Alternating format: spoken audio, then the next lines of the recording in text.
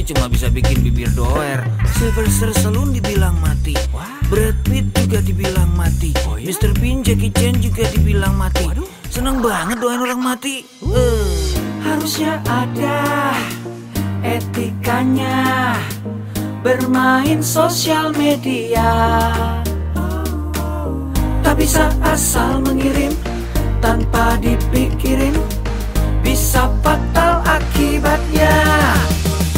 Bersihkanlah udara kita dari kebencian.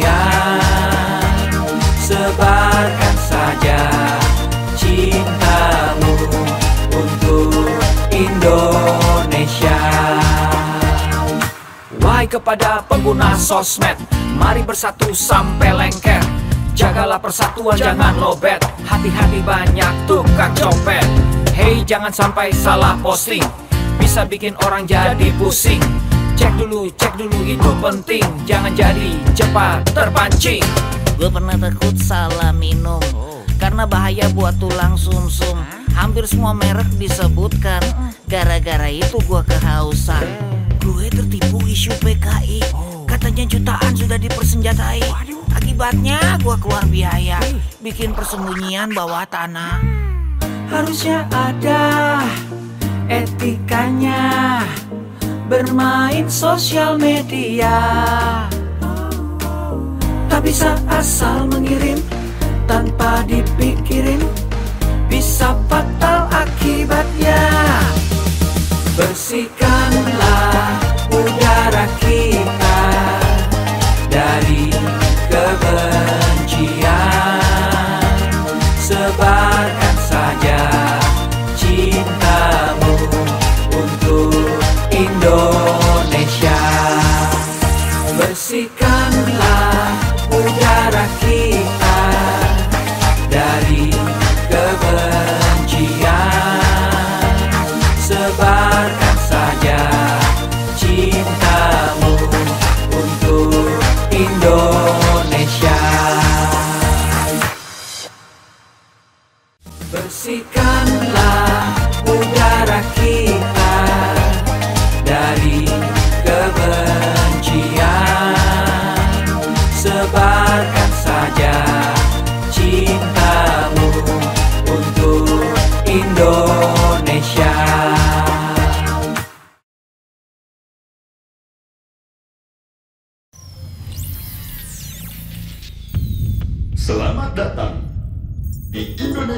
Cakap Digital. Langsung dari 34 provinsi 514 kabupaten kota. Diikuti lebih dari 500 ribu talenta digital. Inilah Indonesia Makin Cakap Digital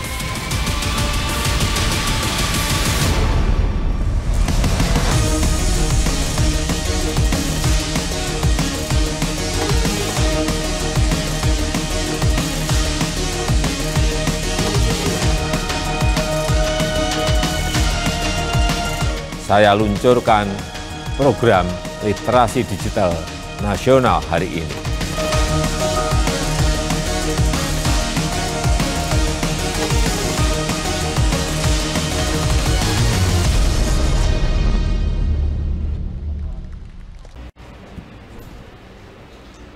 Assalamualaikum warahmatullahi wabarakatuh. Shalom, salam sejahtera untuk kita semua. Om Swastiastu, Namaste, salam kebajikan. Selamat siang, Sambas. Selamat bergabung bersama saya Ronald Andretti selaku moderator Anda hari ini dalam acara Gerakan Nasional Literasi Digital 2021 Indonesia Makin Cakap Digital.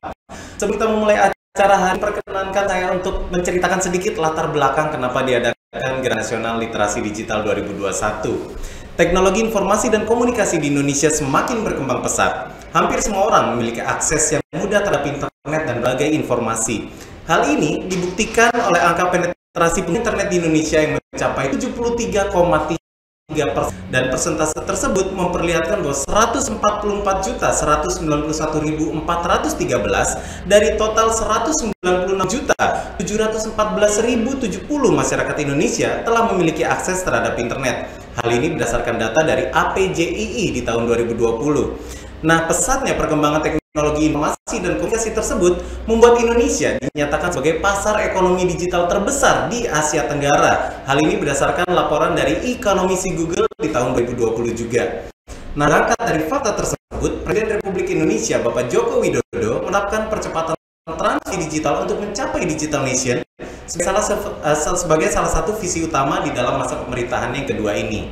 Nah, salah satu programnya adalah pembangunan sumber daya manusia digital. Untuk mencapai visi ini, diperlukan adanya persiapan kebutuhan sumber daya manusia di dalam uh, meningkatkan kualitas sumber daya manusia dalam aspek literasi digital. Literasi digital sendiri merupakan kemampuan individu untuk mengakses, memahami, membuat, mengkomunikasikan, dan mengevaluasi teknologi digital. Sesuai dengan arahan visi Presiden di atas, Kementerian Komunikasi dan Informatika bersama mitra jejaring GNLD Siberkreasi telah menyusun sebuah peta jalan literasi digital di tahun 2021 hingga tahun 2024 untuk meningkatkan partisipasi digital masyarakat, mendorong pengembangan ilmu pengetahuan masyarakat di bidang TIK dan digital, serta mendorong tingkat kecakapan transformasi digital dalam pemanfaatan teknologi baru. Di dalam peta jalan ini dirumuskan juga ada empat kerangka dalam menyusun kurikulum literasi digital, yaitu digital skills, digital ethics, digital safety, dan juga digital culture. Selanjutnya, ada tiga kerangka program literasi digital yang disusun untuk materi dan topik kurikulum yang nantinya akan diajarkan ke masyarakat, yaitu digital economy, digital society, dan juga digital government. Kerangka ini kemudian diturunkan menjadi program literasi digital nasional yang bertujuan untuk membuat masyarakat cakap dalam menggunakan teknologi dan media digital di tingkat dasar, madya, dan mahir, dan tidak melupakan juga kelas literasi digital untuk masyarakat inklusif. Oleh karena itu, Kementerian Komunikasi dan Informatika khususnya Direktorat Pemberdayaan Informatika, Direktorat Jenderal Aplikasi Informatika melaksanakan kegiatan literasi digital untuk peningkatan kemampuan dan pemahaman masyarakat dalam penggunaan teknologi informasi dan komunikasi atau TIK dan internet yang benar melalui implementasi program digital ini di 34 provinsi 514 kabupaten atau kota dan melibatkan 110 mitra strategi siberkreasi dan juga stakeholders terkait lainnya. Luar biasa ya. Dan untuk para peserta webinar kita pada siang hari ini ada beberapa tata tertib yang harus diikuti selama acara berlangsung. Yang pertama adalah tetap mematuhi dan mengikuti protokol kesehatan yang berlaku di mana pun Anda berada. Kemudian juga selama acara berlangsung dimohon untuk mic tetap dimatikan, namun kamera harus terus menyala dan kemudian juga tidak diperkenankan untuk peserta mencoret-coret layar apalagi mencoret wajah moderator ya please jangan kemudian juga tidak diperkenankan untuk menyela pada saat narasumber berbicara dan kemudian hanya boleh bertanya melalui sesi tanya jawab ataupun melalui kolom chat untuk berinteraksi dengan narasumber. Dan kemudian peserta wajib mengerjakan dan juga post test di mana peserta akan mendapatkan e-certificate setelah mengisi post test melalui link yang akan dibagikan di kolom chat. Dan juga aplikasi Siberkreasi dapat di-download di App Store dan juga di Google Play. Dan untuk anda hari ini yang mengikuti acara kami sudah kami siapkan ada hadiah total 1 juta rupiah untuk 10 orang yang beruntung bisa dari pertanyaan terbaik yang akan dipilih oleh tim panitia ataupun untuk Anda yang posting screen capture kegiatan kami di Instagram dengan mention @siberkreasi dan juga @litdik.kalimantan. Jangan lupa dikasih hashtag ya supaya kita gampang nyarinya kasih hashtagnya adalah berkreasi, hashtag makin cakap digital dan juga hashtag lainnya semuanya nanti ada di kolom chat dari tim panitia akan memasukkan bagaimana cara untuk mempostingnya. Jadi untuk nanti di akhir acara akan segera kita umumkan siapa saja calon pemenangnya karena kalau udah pernah menang, maaf tidak bisa dapat nanti akan kita ganti dengan calon pemenang berikutnya. Dan juga pastinya kita pengen berbagi rata hadiah kita dengan teman-teman yang ada di Sambas yang belum kebagian hadiah ya. Dan sebelum memulai acara hari ini bersama-sama kita akan menyanyikan lagu kebangsaan Indonesia Raya 3 stanza diikuti dengan kita simak bersama video arahan dari Presiden Republik Indonesia Bapak Joko Widodo.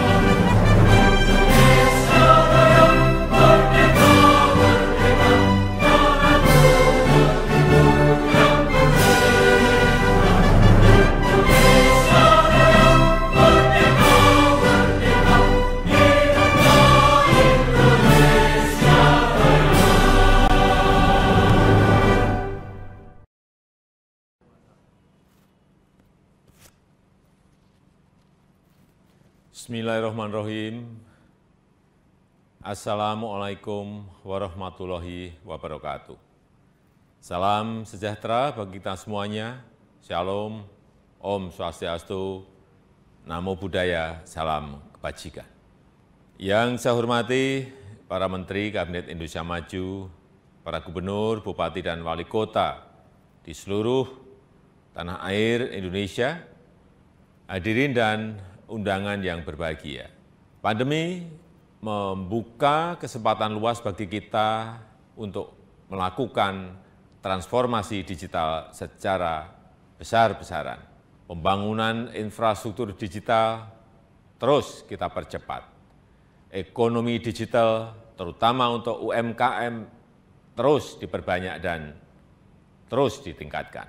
Pemerintahan digital juga terus diperkuat dan masyarakat disiapkan agar lebih cakap digital.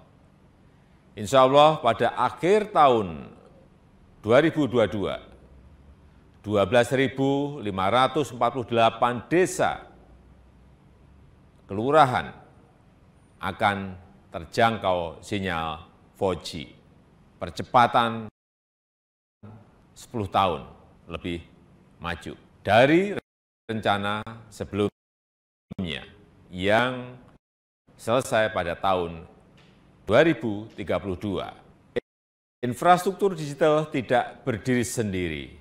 Jadi saat jaringan internetnya telah tersedia, harus diikuti kesiapan-kesiapan pengguna internetnya agar manfaat positif internet dapat dioptimalkan untuk membuat masyarakat semakin cerdas dan produktif, sebaliknya efek negatifnya harus dapat terus ditekan, terus diminimalkan.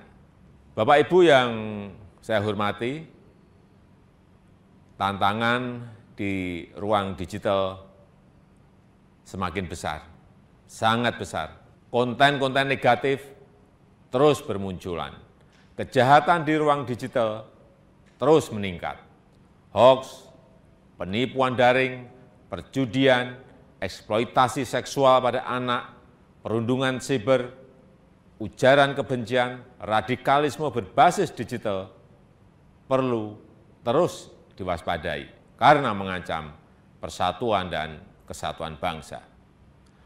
Kewajiban kita bersama untuk terus meminimalkan konten negatif, membanjiri ruang digital dengan konten-konten positif.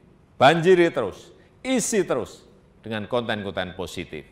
Kita harus tingkatkan kecakapan digital masyarakat agar mampu menciptakan lebih banyak konten-konten kreatif yang mendidik, yang menyejukkan, yang menyerukan perdamaian.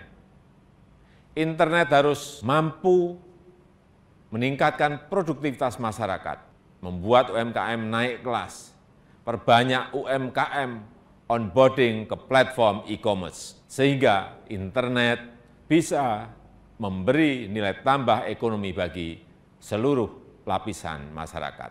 Hadirin sekalian, literasi digital adalah kerja besar. Pemerintah tidak bisa bekerja sendirian. Perlu mendapatkan dukungan seluruh komponen bangsa agar semakin banyak masyarakat yang melek digital. Saya memberikan apresiasi kepada 110 lembaga dan berbagai komunitas yang terlibat dalam program literasi digital nasional ini. Saya harap gerakan ini menggelinding dan terus membesar, bisa mendorong berbagai inisiatif di tempat lain, melakukan kerja-kerja konkret di tengah masyarakat agar makin cakap memanfaatkan internet untuk kegiatan edukatif dan produktif. Saya rasa itu yang bisa saya sampaikan dan dengan mengucap Bismillahirrahmanirrahim, saya luncurkan program literasi digital nasional hari ini. Terima kasih. Wassalamualaikum warahmatullahi wabarakatuh. Om Santi Santi Santi Om, Namo Buddhaya.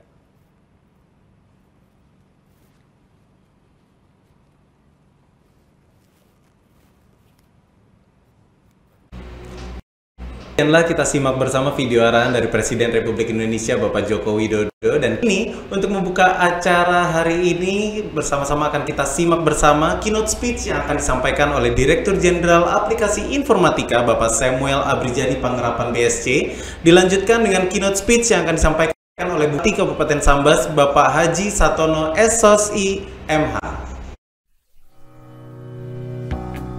Pastikan kita selalu menerapkan protokol kesehatan dengan menggunakan masker, menjaga jarak, dan selalu cuci tangan. Assalamualaikum warahmatullahi wabarakatuh. Salam sejahtera bagi kita semua. Om Swastiastu, Namo Buddhaya, salam kebajikan. Rekan-rekan yang saya hormati, puji syukur kita panjatkan kehadiran Tuhan Yang Maha Esa atas berkat dan rahmatnya kita dapat berkumpul secara virtual dalam keadaan sehat di tengah situasi pandemi COVID-19. Semoga kita semua senantiasa dilimpahi dengan kesehatan dan damai sejahtera dalam upaya kita melawan pandemi COVID-19. Menjadi kebanggaan tersendiri bagi saya untuk membuka acara ini, di mana acara ini merupakan sebuah kegiatan yang diadakan oleh Kementerian Kominfo bekerja sama dengan Cyber Kreasi di bawah kerangka program literasi digital. Sebagaimana yang telah kita ketahui bersama, kehadiran pandemi dan pesatnya perkembangan teknologi telah mengubah cara kita beraktivitas dan bekerja. Kehadiran teknologi sebagai bagian dari kehidupan masyarakat inilah yang semakin mempertegas bahwa kita sedang menghadapi era disrupsi teknologi. Untuk menghadapi hal tersebut, kita semua harus mempercepat kerjasama kita dalam mewujudkan agenda transformasi digital Indonesia. Rekan sekalian yang berbahagia, salah satu pilar penting dalam mendukung terwujudnya agenda transformasi digital adalah menciptakan masyarakat digital di mana kemampuan literasi digital masyarakat memegang peranan penting di dalamnya. Sebagai tingkat paling dasar, kemampuan literasi digital merupakan kemampuan yang paling krusial dalam menghadapi perkembangan teknologi saat ini untuk mewujudkan masyarakat Indonesia yang tidak hanya mengenal teknologi, namun juga cermat dalam menggunakannya. Pada tahun 2020, Kementerian Kominfo bersama Kata Data melakukan survei status literasi digital nasional mengacu pada kerangka literasi digital milik UNESCO. Kajian tersebut menunjukkan bahwa indeks literasi digital Indonesia ada pada angka 3,47 dari skala 1 sampai 4 di mana hal itu menunjukkan bahwa indeks literasi digital kita hanya ada pada sedikit di atas tingkat sedang, namun belum mencapai tingkat baik. Untuk mencapai tingkat literasi yang baik, pemerintah tidak dapat bekerja sendiri. Kementerian Kominfo bersama Sadar Kreasi dan berbagai stakeholder terus berupaya mengadakan berbagai kegiatan untuk meningkatkan kemampuan literasi digital masyarakat Indonesia dan salah satunya adalah yang sedang rekan-rekan sekalian ikuti sekarang. Rekan-rekan yang saya hormati, dalam menghadapi perkembangan teknologi yang sangat cepat, literasi digital merupakan kunci dan fondasi utama harus kita semua miliki. Pemerintah dalam hal ini, Kementerian Kominfo, bersama dengan Cyberkrasi berkomitmen akan terus melakukan upaya meningkatkan literasi digital masyarakat lewat berbagai macam inisiatif kegiatan. Adanya berbagai inisiatif kegiatan literasi digital diharapkan dapat memfasilitasi dan semakin mendorong terwujudnya masyarakat digital Indonesia. Keadaan normal yang baru, baik sekarang maupun pasca pandemi, akan mempercepat proses digitalisasi di berbagai lini kehidupan kita. Maka dari itu, kita harus mempersiapkan SDM kita dengan keterampilan digital yang sesuai untuk menghadapi perubahan ini. Akhir kata, mari kita membawa perubahan positif untuk Indonesia yang lebih baik kita ciptakan inovasi-inovasi berkualitas dengan mengembangkan talenta dan memaksimalkan potensi masyarakat digital Indonesia. Bersama kita dapat melalui pandemi dengan menjadi lebih baik dari masa sebelumnya. Demikian sambutan yang dapat saya sampaikan. Selamat mengikuti kegiatan, tetap semangat, dan salam literasi digital. Wassalamualaikum warahmatullahi wabarakatuh. Om Santi Santi Santi Om.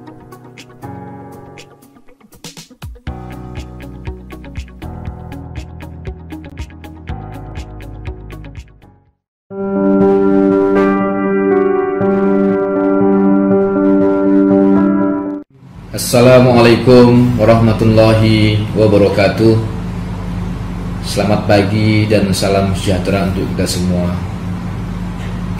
Berdasarkan survei APJI di tahun 2020 Pengguna internet di Indonesia sudah mencapai 196,71 juta jiwa di mana mereka mengakses internet lebih dari 8 jam dalam sehari. Di Kebun Sambas, Kalimantan Barat, di mana masyarakatnya sangat heterogen dan menggunakan media digital sebagai sarana informasinya, maka diperlukan peningkatan literasi digital bagi masyarakat Kebun Sambas untuk mengimbangi perkembangan teknologi digital ini. Program literasi digital bertujuan untuk membuat masyarakat cakap dalam menggunakan teknologi digital di tingkat dasar, media, mahir, dan inklusif.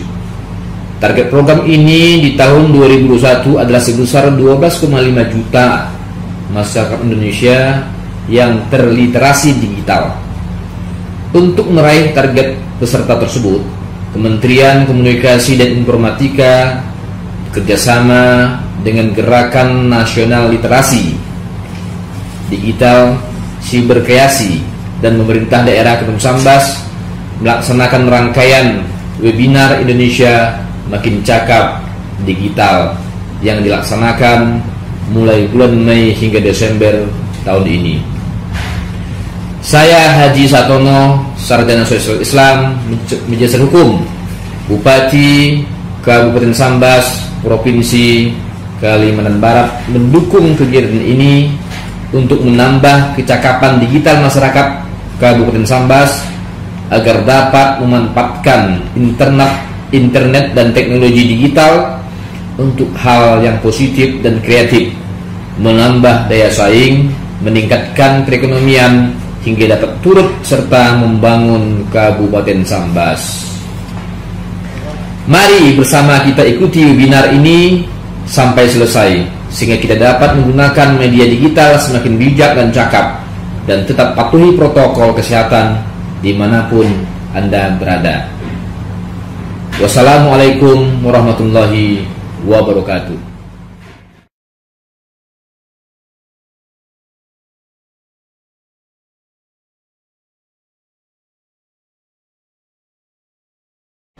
Waalaikumsalam warahmatullahi wabarakatuh. Terima kasih dukungan dan juga telah membuka acara hari ini dari Bupati Kabupaten Sambas dan juga tentunya kepada seluruh peserta webinar kami sebelum kita memulai acara hari ini bersama-sama kami uh, bersama-sama kami ingin mengajak Anda semua untuk menundukkan kepala sejenak mengeningkan cipta dan bersama-sama kita akan berdoa Demi lancaran acara kita pada siang hari ini, semoga teman-teman yang berada di Sambas dapat menerima manfaat dari literasi digital 2021 dan tentunya bersama-sama kita mendoakan Indonesia di tengah masa sulit, di tengah pandemi yang mewabah di seluruh dunia, kita doakan bersama-sama seluruh masyarakat Indonesia yang saat ini sedang merasakan sakit, semoga diberikan kesembuhan. Semoga masyarakat Indonesia yang saat ini merasakan berat untuk bertahan dapat diberikan kekuatan dan semoga kita semua bisa melewati masa-masa sulit ini bersama-sama dan yakin kita akan bangkit kembali menjadi manusia yang lebih baik lagi.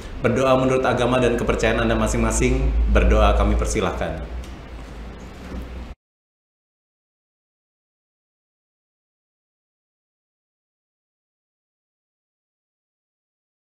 Amin. Terima kasih. Dan kini kami ingatkan sekali lagi kepada seluruh peserta webinar bahwa kami sudah menyiapkan hadiah untuk Anda total 1 juta rupiah untuk Anda yang mengirimkan pertanyaan terbaik kepada masing-masing narasumber karena narasumber kami sudah luar biasa hari ini bergabung untuk Kabupaten Sambas. Kali ini kita ada narasumber ada seorang muslim juga writer ada Kak Heksananta Sayuti, kemudian juga ada seorang guru SMA N2 Sambas ada Bu Dewi Ratnasari SPD, kemudian juga ada owner dasnack.id, food reviewer dan juga content creator ada Kak Rizky Ramadhani SS Tat, kemudian juga ada guru SMA Negeri 1 Sambas dan juga freelancer penulis artikel ada Pak Wawan Setiawan SPD. Nanti kita akan bertemu dengan mereka semua, tapi kita ingatkan sekali lagi Anda bisa membanking atau siapkan pertanyaan untuk masing-masing narasumber nanti akan kita pilih pertanyaan terbaik. Dan juga untuk anda yang posting screen capture kegiatan kita di Instagram ya dengan mention @siberkreasi dan juga @litdik.kalimantan jangan lupa dikasih hashtag ya siberkreasi dan juga hashtag makin cakap digital. Dan juga hashtag lainnya bisa dicek di kolom komentar nantinya. Dan kali ini kita akan bertemu dengan narasumber kita yang pertama karena literasi digital kita siang hari ini dengan topik besar bermain sosial media dengan aman dan bijak. Untuk narasumber yang pertama ini kita akan membahas bagaimana kita lebih bijak lagi di kolom komentar. Kali ini kita akan bertemu dengan seorang musisi dan songwriter. Langsung saja kita sapa selamat siang Kak Heksa Nantasayuti.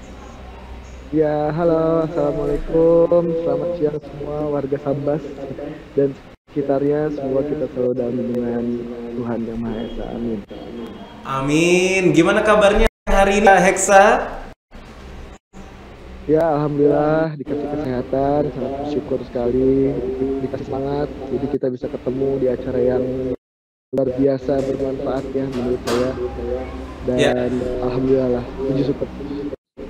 Betul sekali dan tentunya hari ini literasi digital ini adalah meningkatkan kita karena perkembangan teknologi ini sedemikian cepatnya ya kak ya. Apalagi di masa pandemi eh, mungkin dulu ngerasain mungkin sebagai pekerja seni juga kak Heksa mungkin dulu lebih tradisional konvensional adalah bertemu dengan klien langsung bertemu dengan fans langsung dengan eh, audiens sekarang semuanya serba online. Gimana?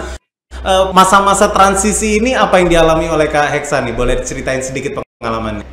Iya, eh, untuk masa transisi memang agak berat ya karena terakhir saya kerja di musik itu di sebelum pertama COVID waktu itu bulan Maret ya. Iya, Jadi itu awal-awal. terakhir saya kerja musik. Setelah itu udah nggak ada udah nggak ada perform perform lagi, udah nggak ada manggung manggung lagi. Akhirnya saya harus harus berkreatif mungkin ya.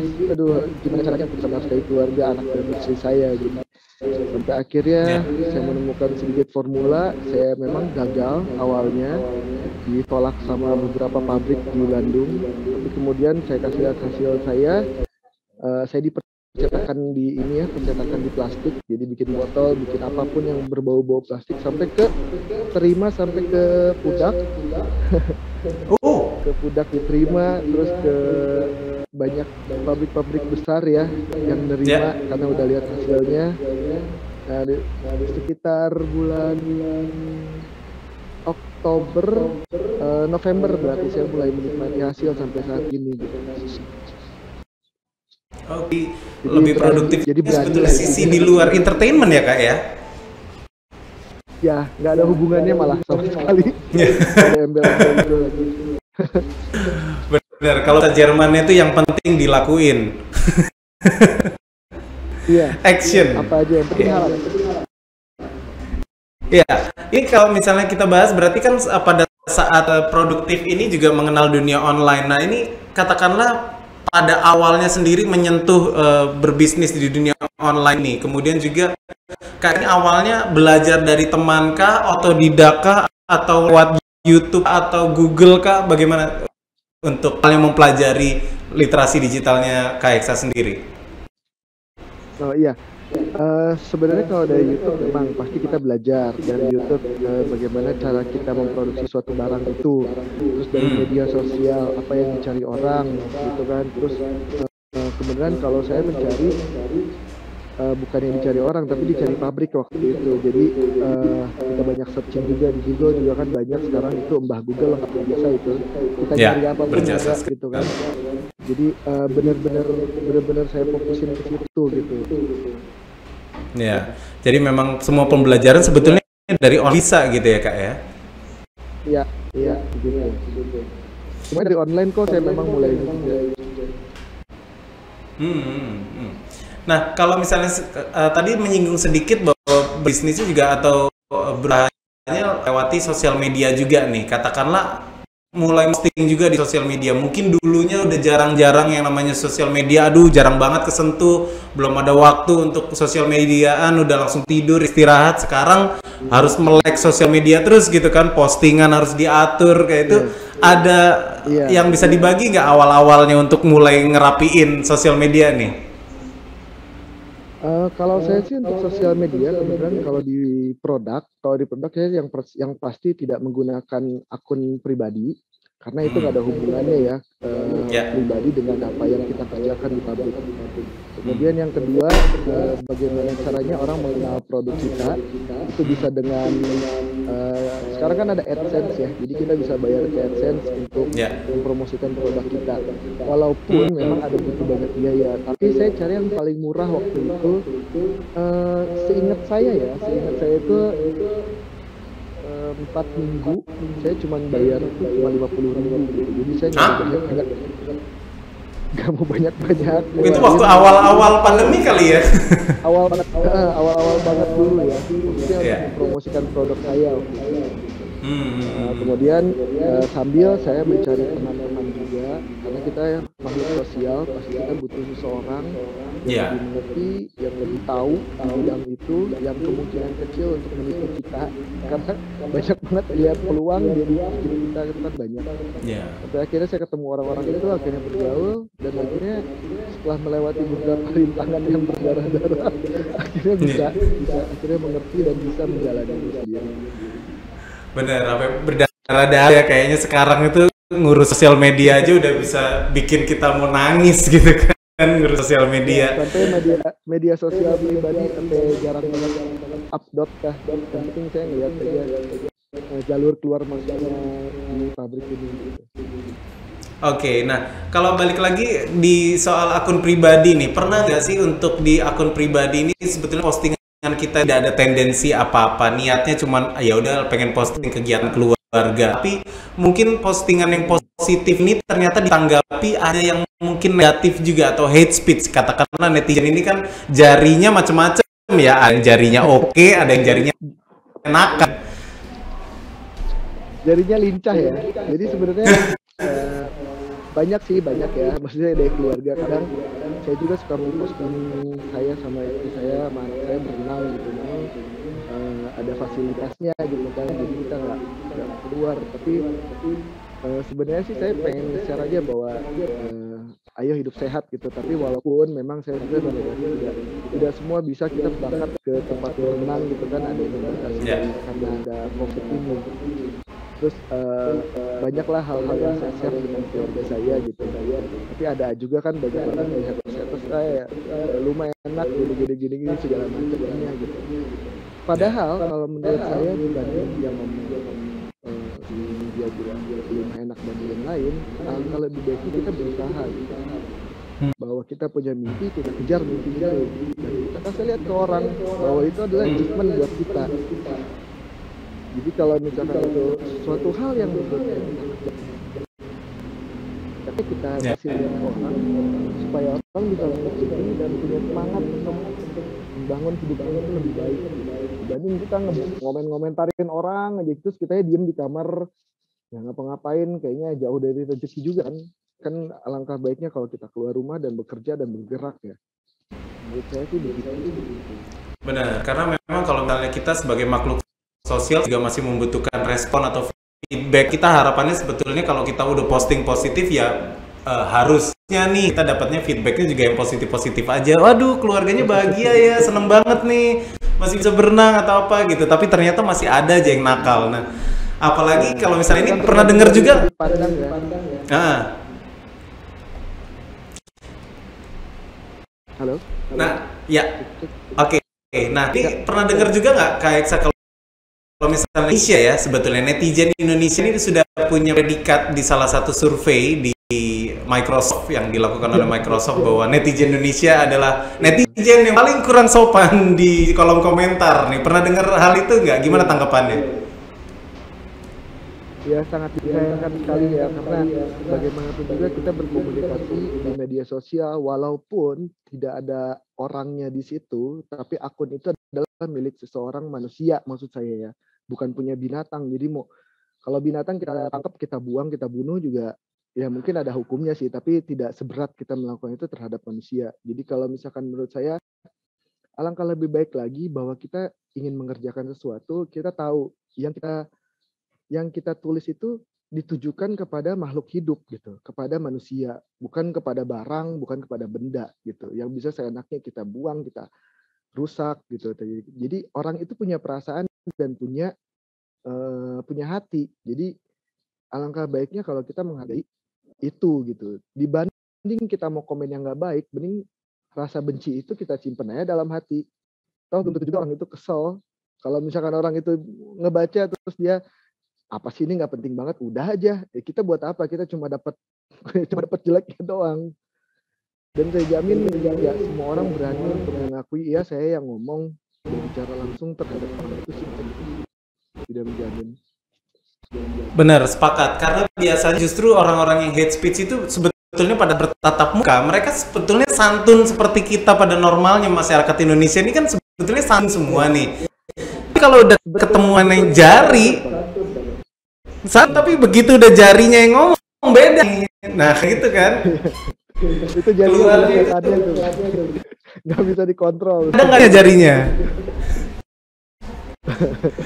Iya jadi ya, jadi ya, saya juga kan sering banyak ya pergi ke luar di Indonesia ini saya udah muter dari ke Sambas saya pernah pernah ke Oh, Sambas, iya? gitu. jadi ya ya eh, jadi jadi nggak ada saya nggak pernah nemuin orang yang bicara seperti apa yang bicara di media sosial gitu ya baik sapa terus sapanya baik senyum senyum ah itu Iya. bahagia banget ya gitu jadi sangat sayang sangat disayangkan sekali lah itu nggak bisa dikontrol Iya.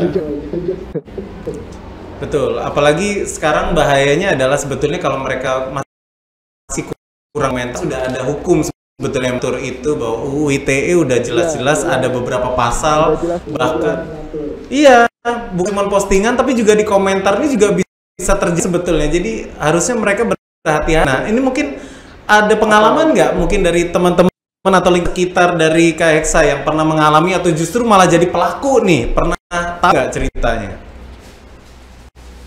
eh yang yang yang ini banget sih saya karena saya juga nggak pernah terlalu fokus ya untuk membaca di media sosial. Jadi kalau ada yang nulis gitu oh ya udahlah bodo amat bodo amat dia hidup dia hidup saya hidup saya gitu. Jadi saya nggak pernah Ya. amat. tapi kalau dari teman-teman kalau dari teman-teman saya juga atau dari keluarga juga yang paling eh, cuman nge ya nggak nggak terlalu berat lah. Jadi istri saya dibilangnya anak saya waktu itu kurus banget. Jadi istri saya itu dibilangnya nggak ngurusin anak gitu. Padahal anak saya itu kena TBC entah di mana gitu.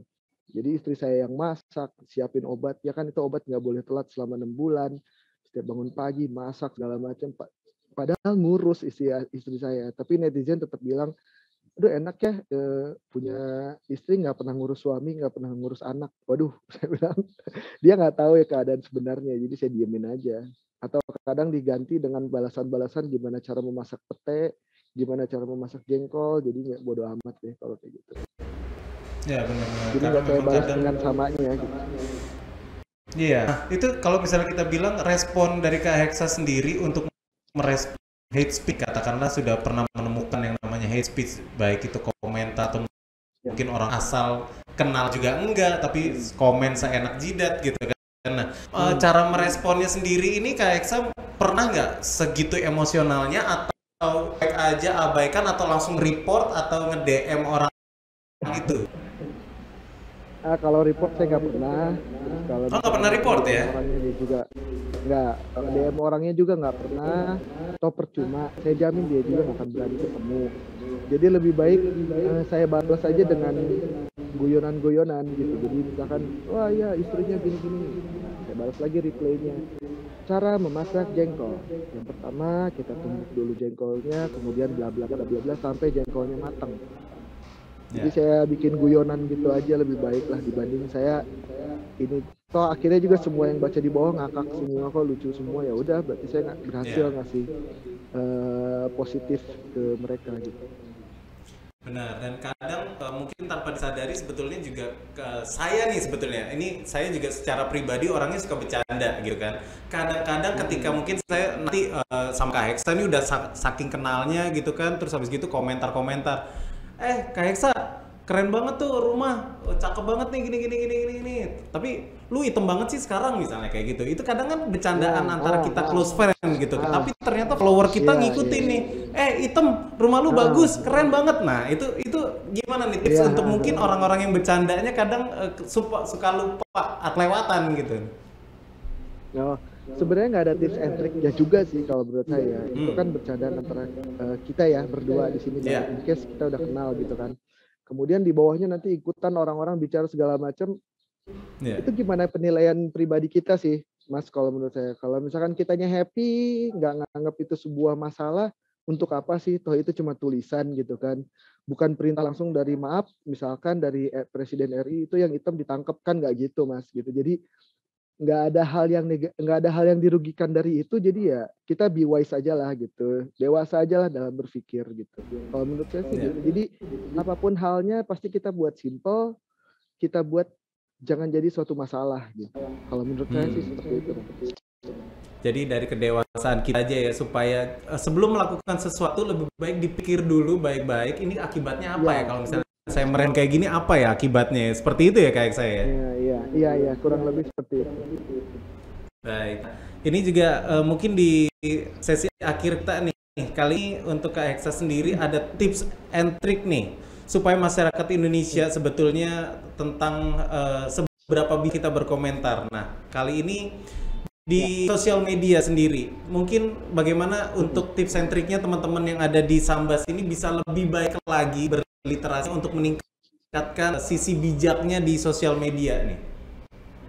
Oke, simpelnya aja ya. Memang ini udah saya saya agak catat sedikit ya karena ini poin penting buat kita semua menurut saya ya. Jadi eh, yang paling penting itu adalah jangan apa? Jangan menggunakan kata-kata kasar.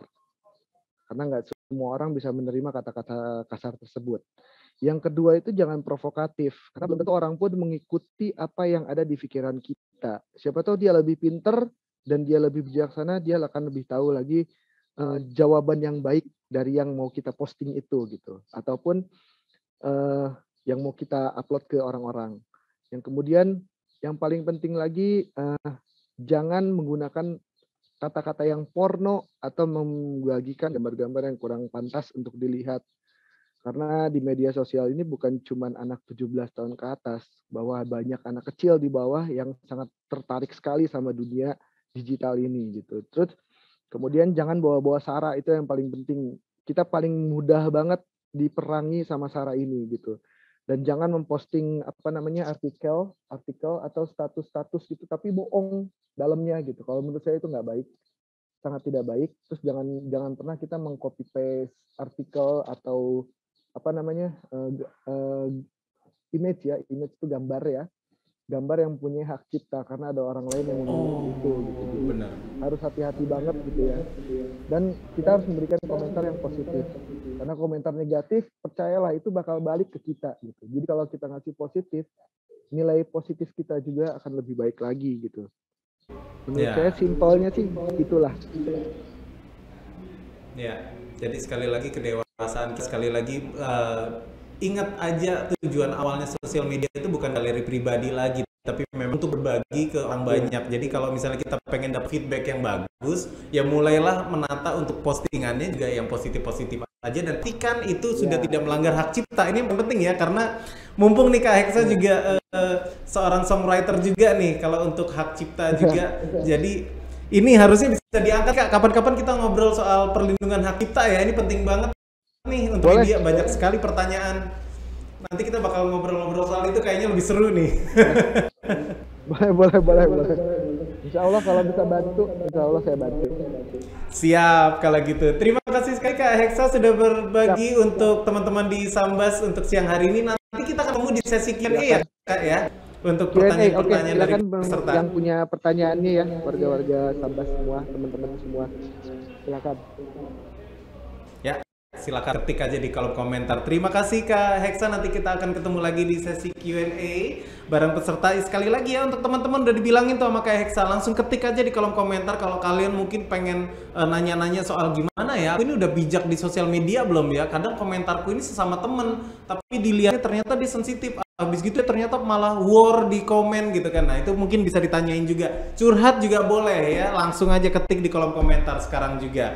Oke, nah ini juga untuk teman-teman peserta masih ada hadiah satu juta rupiah yang akan dipilih oleh panitia untuk mendapatkan kita masing-masing seratus ribu rupiah untuk pertanyaan terbaik dan juga untuk anda yang post kirim ke kegiatan kita di Instagram. Boleh lagi eh, saya lagi ngobrol sama Kaisa juga boleh di screenshot aja posting di Instagram Cyberkreasi dan juga atletdik.kalimantan nanti bakal kita menangin. Tapi jangan lupa hashtagnya ya berkreasi dan juga hashtag Maki Cakap Digital. Plus jangan lupa untuk yang belum pernah menang. Jadi kita pengen bagi rata hadiahnya untuk teman-teman yang ada di Sambas yang belum pernah dapat hadiah ya. Oke tadi udah ngobrol seru bareng uh, barengan sama Kak Eksa itu aduh tadi udah sepenggal udah dibahas soal hak cipta juga aduh pengen ngobrol banyak sebetulnya tapi kali ini kita juga bakal uh, ngobrol soal bagaimana kita meningkatkan uh, kesopanan dan juga adab kita di sosial media. Ini berhubungan juga dengan etika nih. Kali ini kita bakal ngobrol dengan guru S2 Sambas. Langsung saja kita sapa. Selamat sore untuk Bu Dewi Ratnasari SPD. Selamat sore Mas Ronald. Halo Bu Dewi. Ini kita pengen berbagi dong Halo. sama teman-teman yang ada di Sambas gimana nih supaya kita bisa sopan dan beradab di sosial media. Karena kalau kita ngomong sosial media ini kayaknya jejak digital tuh kejam Kemudian kalau kita udah nggak pan dan apa segala macam responnya bisa macam-macam. Gimana untuk berbaginya sore hari ini bersama teman-teman Bas? Kami persilakan. Iya. Oke, sambil saya share screen ya, Mas Ronald ya. Ya, silakan Bu Dewi.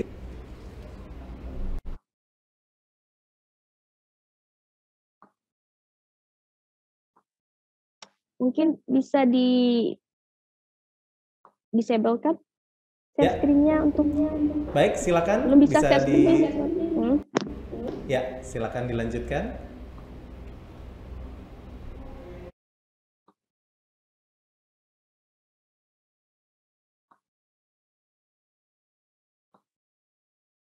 Sudah kelihatan, Mas Renal? Ya, sudah muncul, Bu. Kami persilakan. Silakan di full screen. Oke. Okay. Oke, okay, Assalamualaikum warahmatullahi wabarakatuh. Selamat siang teman-teman yang ada di Sambas, terutama murid-murid saya yang lagi menonton di Mas Ronald. Selamat siang ya uh, anak-anakku, semoga tetap semangat, menimba ilmu sehingga kita bisa dapat mendapatkan wawasan yang lebih lagi dan semakin cakap digital. Ya, pertama-tama saya juga ingin menyapa para narasumber, uh, ada Mas Heksa, ada Kak Denis, dan ada Pak Wawan. Ya, selamat siang para narasumber.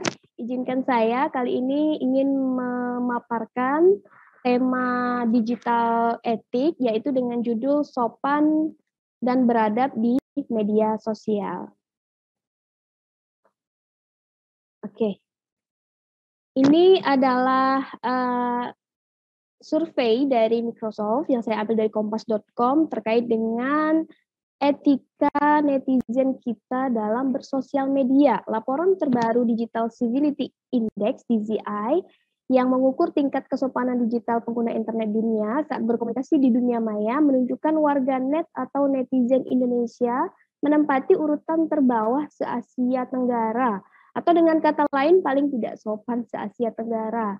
Dalam riset yang dirilis oleh Microsoft ini, tingkat kesopanan netizen Indonesia memburuk 8 poin ke angka 76.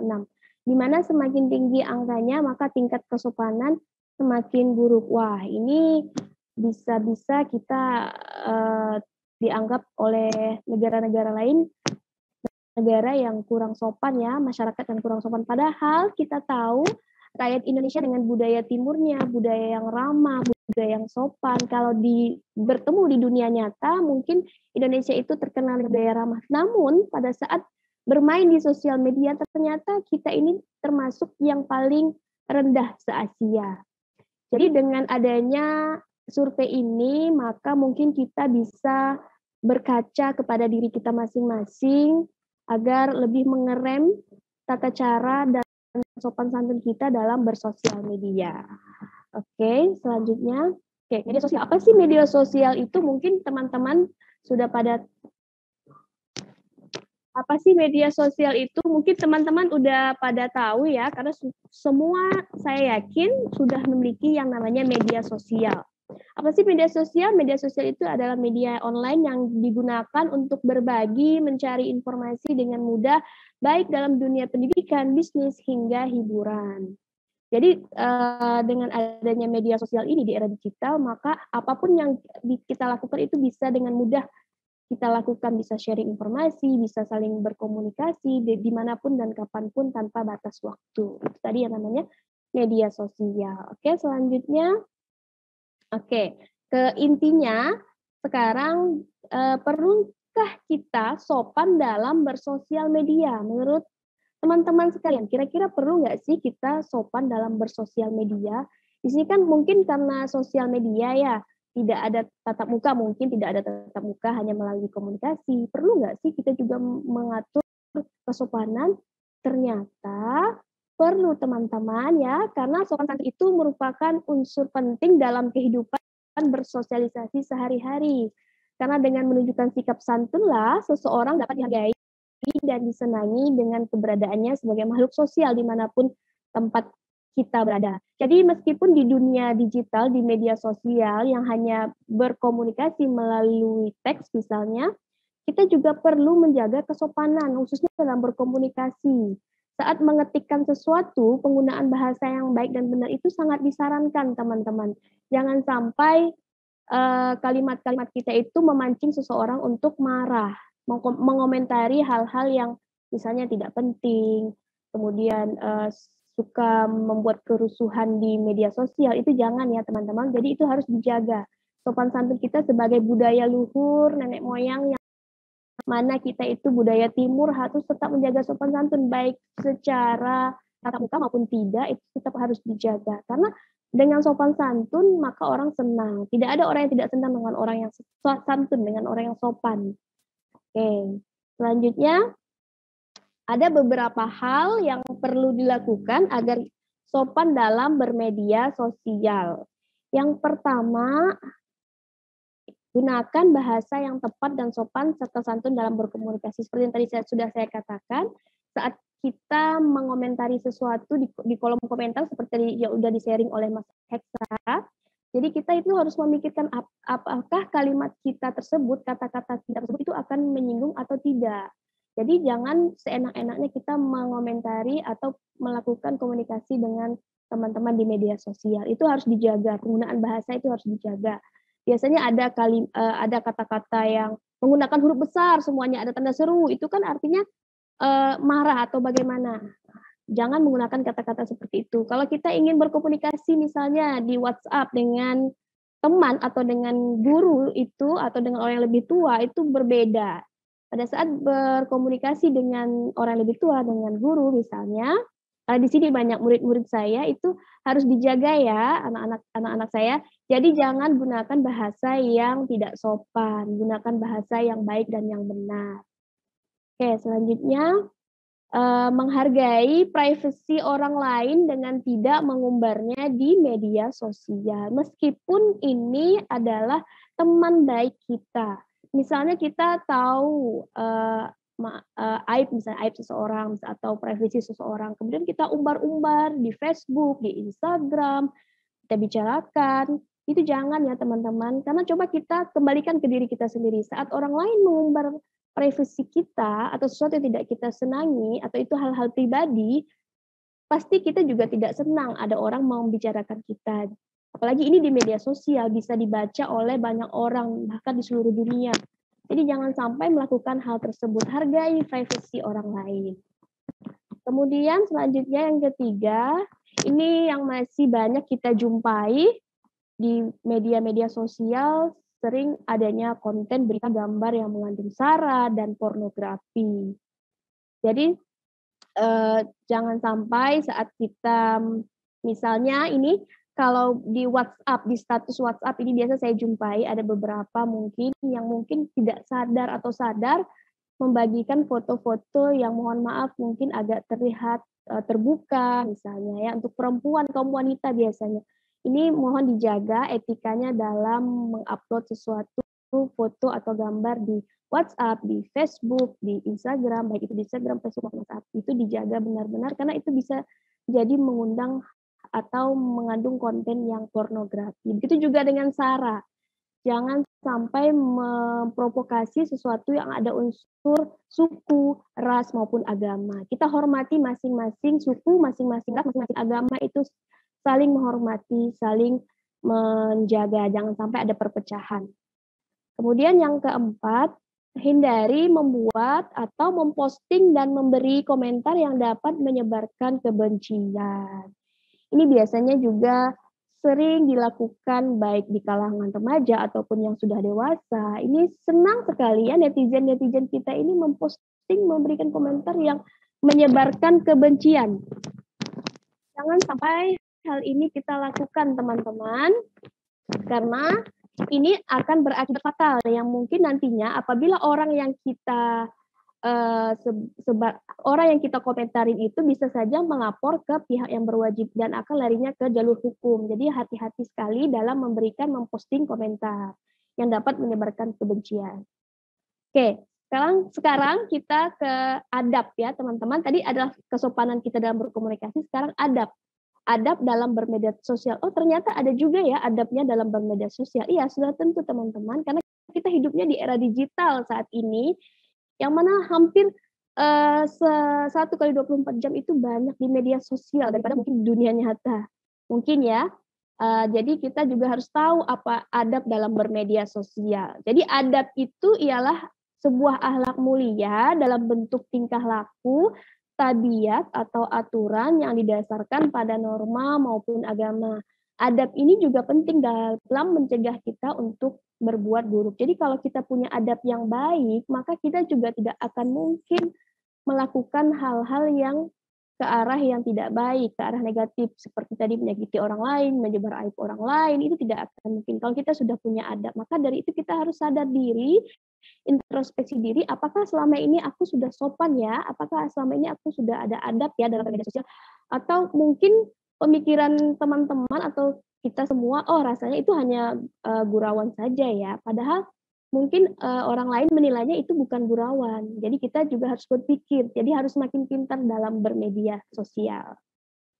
Oke, jadi ini ada beberapa adab dalam bermedia sosial yang harus kita ketahui bersama. Yang pertama, tabayun atau check and recheck. Oke, harus dicek dan dicek dulu. Jadi misalnya begini, kalau kita ada mendengar informasi atau membaca atau melihat di sosial media informasi-informasi terkait yang dari teman, dari orang lain, sesuatu yang mungkin menurut kita itu tidak baik, kita harus cek dulu, tanyakan langsung ke orangnya. Jangan langsung mengeser lagi informasi tersebut ke sosial-sosial media lainnya.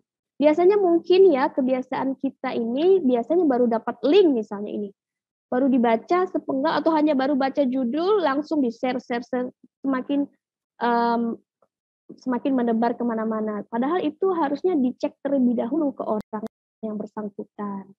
Jadi kita harus budayakan adab kita itu harus tabayun, harus cek dan recheck terlebih dahulu. Kemudian menyampaikan informasi dengan benar itu ada kaitannya tadi dengan check and dan recheck. Jadi saat ingin menyampaikan sesuatu di media sosial, mengeser sesuatu media sosial sampaikan informasi itu yang benar, jangan informasi yang belum tahu kebenarannya. Selanjutnya dilarang menebar fitnah, kebencian dan lainnya. Ini juga sudah jelas ya, apalagi fitnah, sesuatu yang belum tahu kebenarannya. Kalau yang kalau yang sudah tahu kebenarannya itu bisa disebut gosip ya teman-teman. Tapi kalau yang tidak tahu kebenarannya itu fitnah. Jadi dua hal itu sebenarnya tidak boleh kita lakukan ya, baik di dunia nyata apalagi di dunia maya.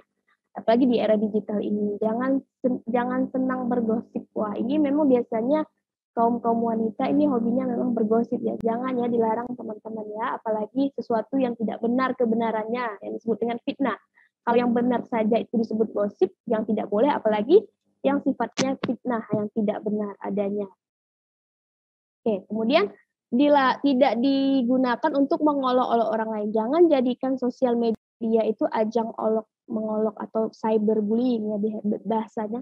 Jangan gunakan uh, ke, uh, media sosial kalian itu untuk saling uh, olok mengolok. Misalnya saja ini uh, ada foto temannya dari dulu misalnya temannya dulu mohon maaf kurus sekarang gemuk wah kamu semakin gemuk ya wah kamu semakin hitam ya wah kamu semakin ini ya mungkin ini agak sensitif untuk sebagian orang. Jadi jangan gunakan kata-kata seperti itu. Jangan gunakan untuk diolok-olok. Karena tidak ada orang yang senang diolok-olok ya, teman-teman. Oke ya, kemudian larangan menebarkan berita palsu atau hoax. Ini juga sudah jelas tadinya jadi ada kaitan tadi dicek dulu, di uh, dikonfirmasi dulu baru kita share informasi tersebut. Dan kalau kita sudah tahu bahwa berita itu palsu, sudah jelas-jelas itu hoax, jangan sekali-sekali kita sebarluaskan. Uh, beberapa hari yang lalu saya ada mendapatkan WA ini banyak WA WA tentang kuota-kuota yang masuk itu nah, itu teman-teman harus dicek terlebih dahulu ya jangan langsung disebarkan karena mungkin melihat uh, ada kuota sekian sekian sekian wah ini nih lumayan ini sebarkan di kelima grup nanti akan mendapatkan kuota sekian wah itu bahaya itu banyak yang hoax ya teman-teman jadi kalian dilarang untuk menyebarkan berita yang palsu. Oke, sekarang selanjutnya yaitu rambu-rambu di dalam rambu-rambu konten media sosial yang produktif. Apa sih eh, konten-konten uh, yang bagus yang bisa kita upload atau kita share di sosial media? Yang pertama ada konten yang positif, yang kedua ada yang konten yang negatif ya. Yang pertama mungkin yang saya bahas yang konten yang positif. Oke, hal-hal yang boleh kalian upload di sosial media kalian. Yang pertama yang pastinya uh, upload sesuatu yang kreatif. Artinya seperti ini. Kalian senang melakukan aktivitas seperti uh, bernyanyi, senang bermain gitar, bermain piano. Kalian bisa gunakan uh, hobi kalian tersebut untuk mengupload di sosial media, misalnya di YouTube. Itu bisa jadi sesuatu yang kreatif atau mungkin kegiatan-kegiatan tutorial-tutorial yang menarik misalnya kalian juga bisa gunakan dan kita kalian upload di sosial media.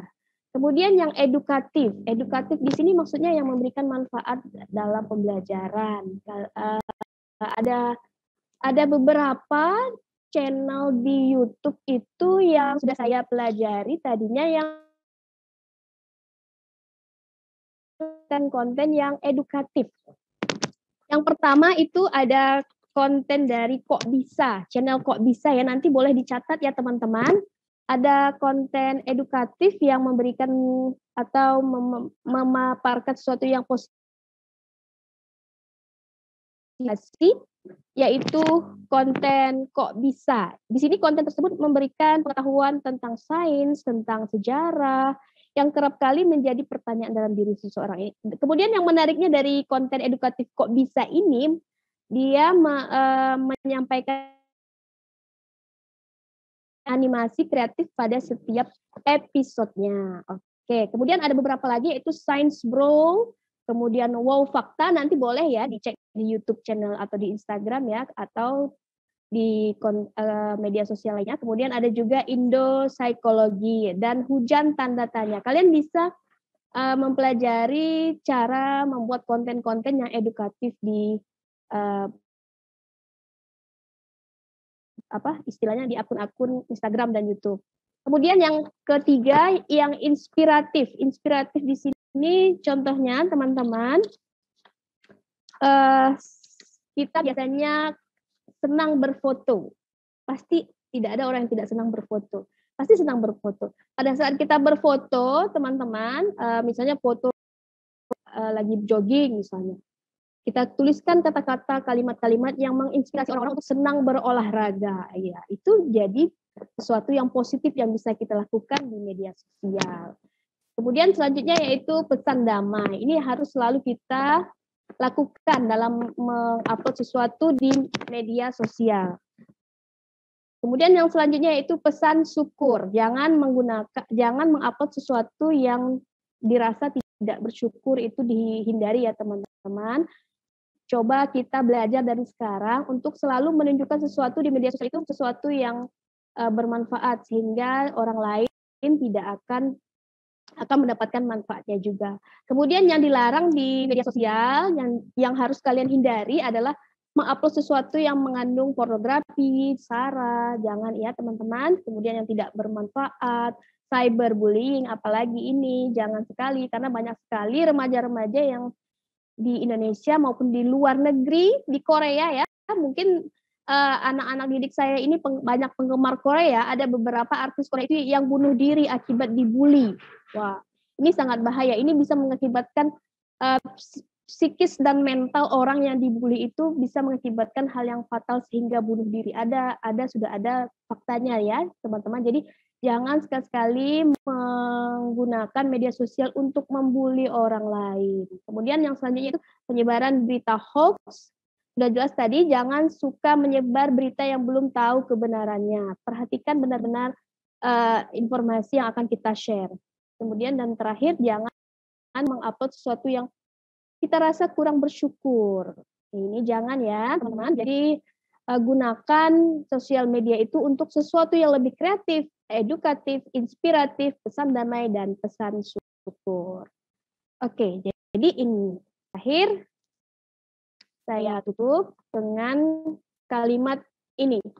Jadi saat kalian ingin mengunggah sesuatu atau memposting sesuatu di media sosial, tanyakan terlebih dahulu, apakah unggahan saya itu merugikan diri saya sendiri?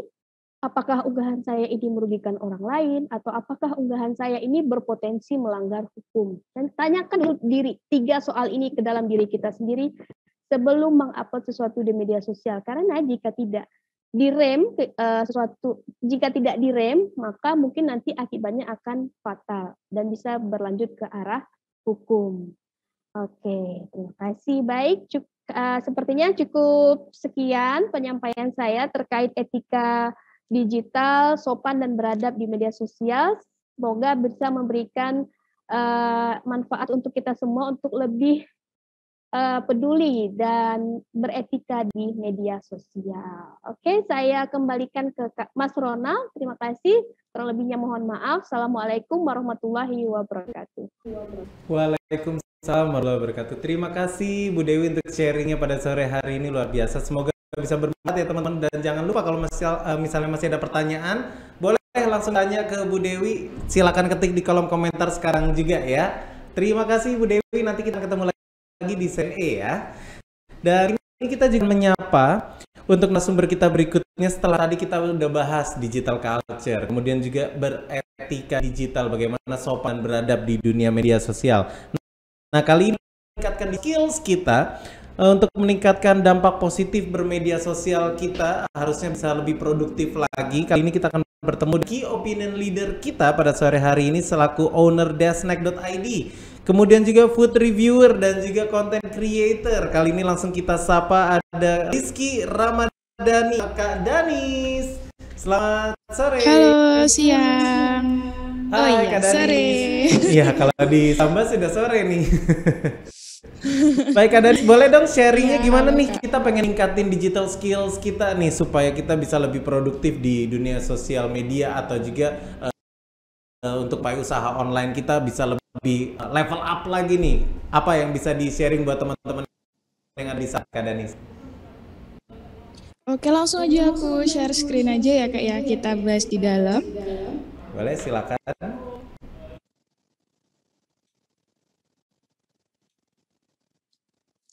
Selamat uh, sore ya teman-teman. Selamat sore juga buat narasumber yang lain.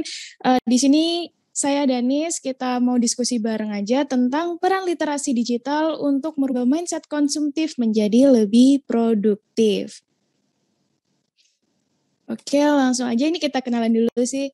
Uh, aku Roma Danis, biasa dipanggil Danis sebagai food reviewer, content creator, dan owner dari Dan Snack ID. Saya bekerja juga di salah satu multinational company dan salah satu admin di wedding organizer.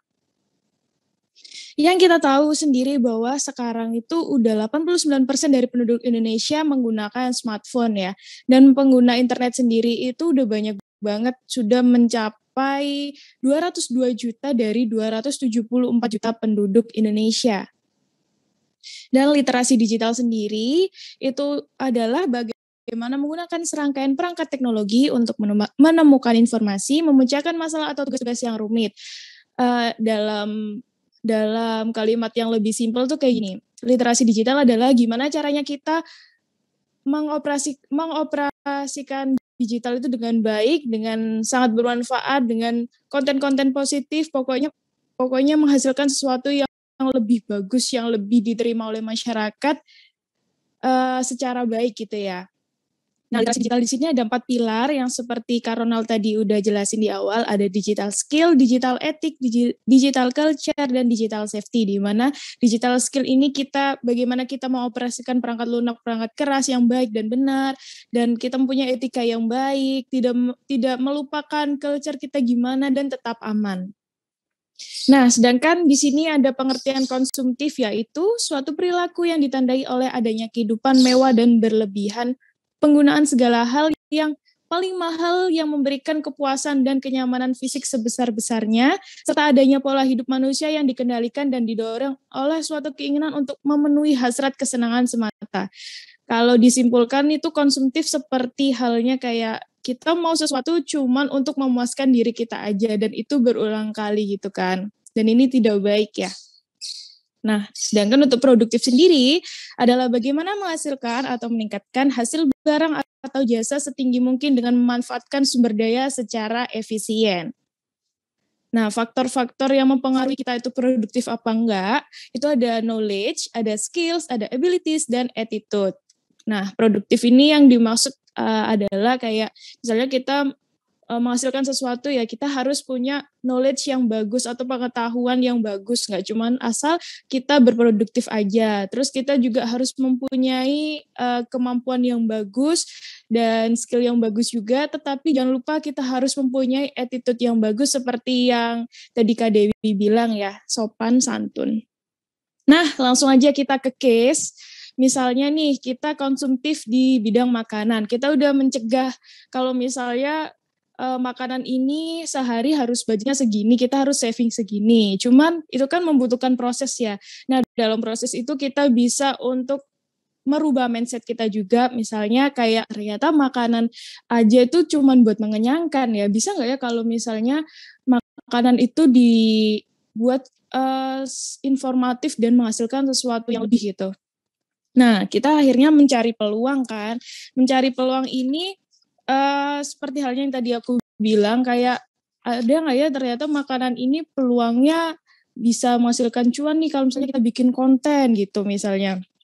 Nah, akhirnya kita memulai kita start apa yang kita pengenin tujuan yang kita yang tujuan kita yang pengen sampaikan ke masyarakat itu apa gitu. Misalnya kita mau uh, jualan tentang uh, makanan yang kita suka atau mungkin kita mau review produk yang kita suka. Pokoknya kita harus menentukan nih tujuan kita itu apa dulu.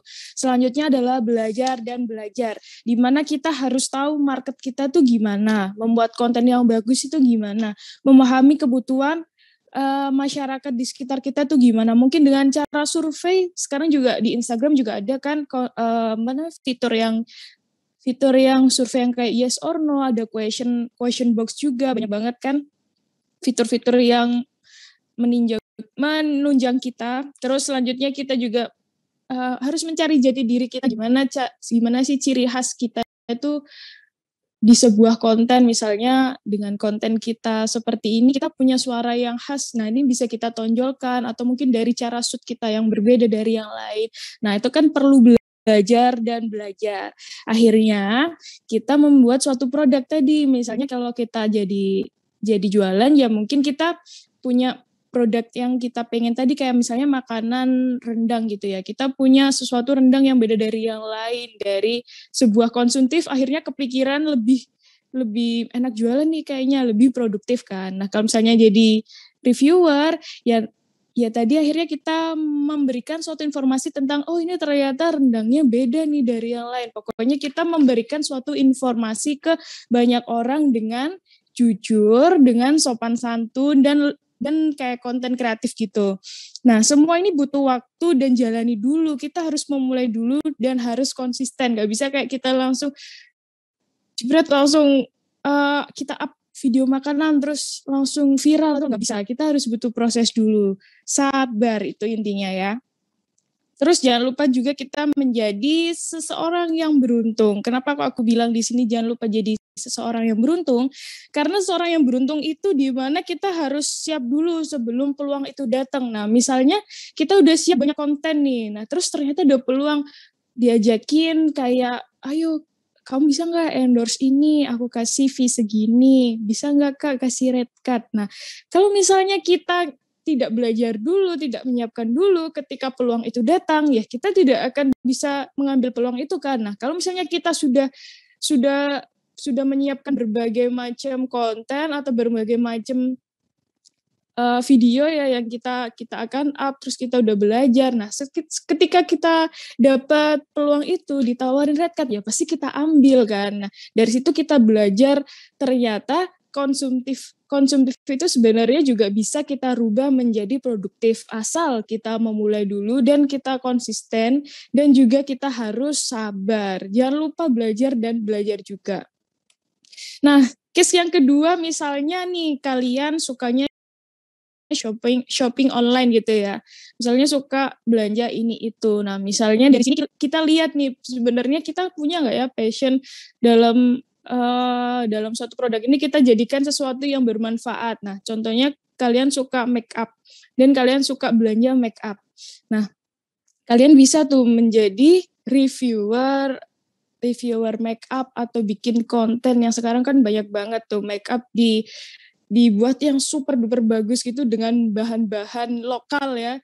Nah, itu kan sangat bagus kontennya karena uh, ternyata semua semua yang kita yang suka hobi kita untuk belanja online ternyata bisa membuahkan hasil juga, bisa mencuankan gitu loh. Bisa membuat kita cuan karena cuman dari kita memberikan informasi suatu produk kayak halo halo teman-teman ini ada produk Indonesia yang ternyata bagus loh ini murah loh. Nah dari situ kan pasti akan dinotis oleh para all shop nih dari sekeliling kita oh ternyata kakak ini adalah suatu uh, influencer ya ternyata kakak ini beauty blogger ya wah bisa nih aku bisa kirim produk ke kakaknya bisa dipromotin. Nah dari situ kan akhirnya timbul tuh cuan-cuan maka kita harus mengambil peluang-peluang itu oke nah ini butuh duit banyak gak sih kak kan harus kameranya bagus yang harus yang gak kentang atau gimana enggak sebenarnya itu gak butuh duit banyak gitu loh karena sesuatu yang kalian uh, bikin dari hal-hal yang biasa aja dan menjadi luar biasa itu malah lebih diapresiasi ya. Bahkan ini aku bikin suatu konten juga dari HP, terus dari HP aja tuh awalnya. Terus tapi akhirnya kan dapat endorse A, endorse B, akhirnya kita kumpulin, kita beli ring light, terus kita beli uh, background. Nah, harus berproses, gak usah kayak kalian harus aku maunya iPhone 12 Pro Max enggak enggak usah pelan-pelan aja dulu dari hal-hal yang kecil kita bisa bermanfaat buat orang lain. Nah, sekian aja dari aku. Yang penting yang pertama kalian harus memulai dulu. Kalian harus berpikir kalau kalian itu harus bisa menjadi seseorang yang memberikan sesuatu yang positif ya buat orang lain. Terus jangan lupa belajar dan belajar. Terus jangan lupa kita harus selalu produktif dan jadilah orang yang beruntung gitu. Terima kasih kembali ke Kak Ronald. Assalamualaikum warahmatullahi wabarakatuh. Waalaikumsalam warahmatullahi wabarakatuh. Terima kasih Kak Danis ilmu luar biasa apalagi dari orang konten creator harus kita serap nih kalau bahasa kasarnya kita colong ilmunya Kak dan sih udah kompeten banget di dunia ini ya. Dan jika nanti akan ada pertanyaan dari teman-teman peserta, kita akan ketemu di sesi Q&A ya Kak Danis ya. Baik, terima kasih sekali Kak Danis untuk sharingnya pada sore hari ini dan kita ingetin sekali lagi untuk teman-teman Anda bisa memposting pertanyaan langsung di kolom komentar kepada masing-masing narasumber karena kita akan memilih pertanyaan terbaik untuk diajukan kepada narasumber kita dan juga untuk kesempatan menangin hadiah masing-masing seratus ribu rupiah. Termasuk untuk Anda yang juga memposting screen cap kegiatan kita hari Instagram dengan mention at siberkreasi dan juga at liddik.kalimantan. Jangan lupa dikasih hashtag ya, siberkreasi, kemudian juga hashtag liddikal uh, eh, 1332. Hashtagnya liddikal 1332 juga hashtag uh, makin cakap digital. Nanti akan kita pilih melalui hashtag itu untuk postingan Instagram yang paling menarik screen capture-nya. Dan juga hari ini kita bakal bahas juga nih, kalau tadi udah dari digital culture, kemudian digital ad skills juga udah. Nah, kali ini kayaknya yang bakal ngerangkum semuanya adalah digital safety karena ini berhubungan dengan batasan-batasan kita untuk sosial media. Nah, kali ini kita akan bahas hati-hati dalam menyebar data pribadimu Uh, pasti sering dengar ya banyak kebocoran data ya. Kali ini kita langsung sapa saja seorang guru SMA Negeri 1 Sambas dan juga seorang dancer, penulis artikel. Selamat sore untuk Pak Wawan Setiawan SPD. Selamat sore Mas Ronald. Selamat sore Pak Wawan, boleh dong sharingnya kita udah ngomongin tentang digital safety atau keamanan di dunia internet. Nah ini data pribadi yeah. ini iya. kayaknya ngeri yeah. banget nih. Lengah pribadi wus dipakai sama oknum tidak bertanggung jawab. Boleh sore yeah. hari ini? Iya, boleh. Siap, siap.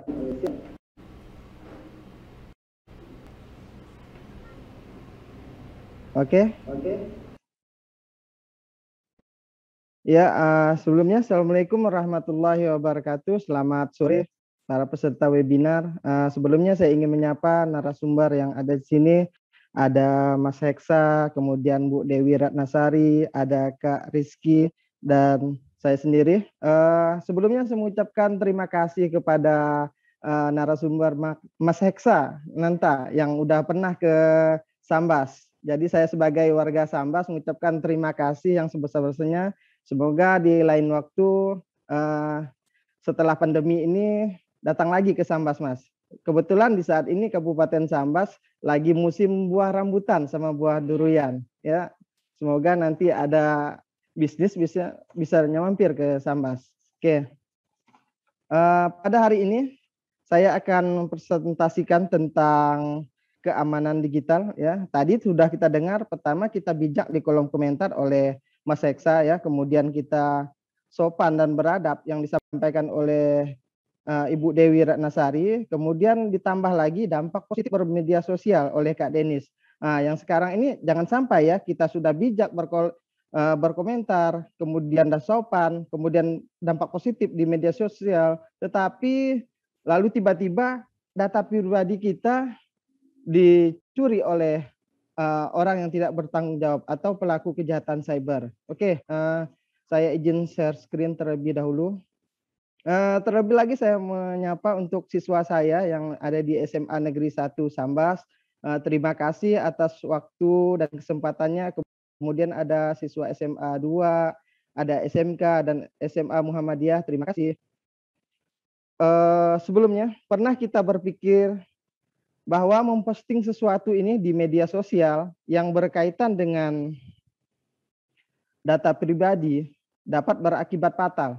Walaupun postingan tersebut ya walaupun postingan tersebut uh, tidak melanggar undang-undang ITE atau bahkan tidak menyakiti teman-teman di media sosial, bahkan malah menambah like ya, kemudian menambah teman di media sosial sehingga banyak ya endorsement yang ingin menginginkan jasa kita. Tapi tahukah kita bahwa setiap postingan yang ada di media sosial yang kita lakukan ya berpotensi untuk uh, diambil oleh pelaku kejahatan cyber. Jadi dalam hal ini saya akan menyampaikan hati-hati dalam menyebar data pribadi.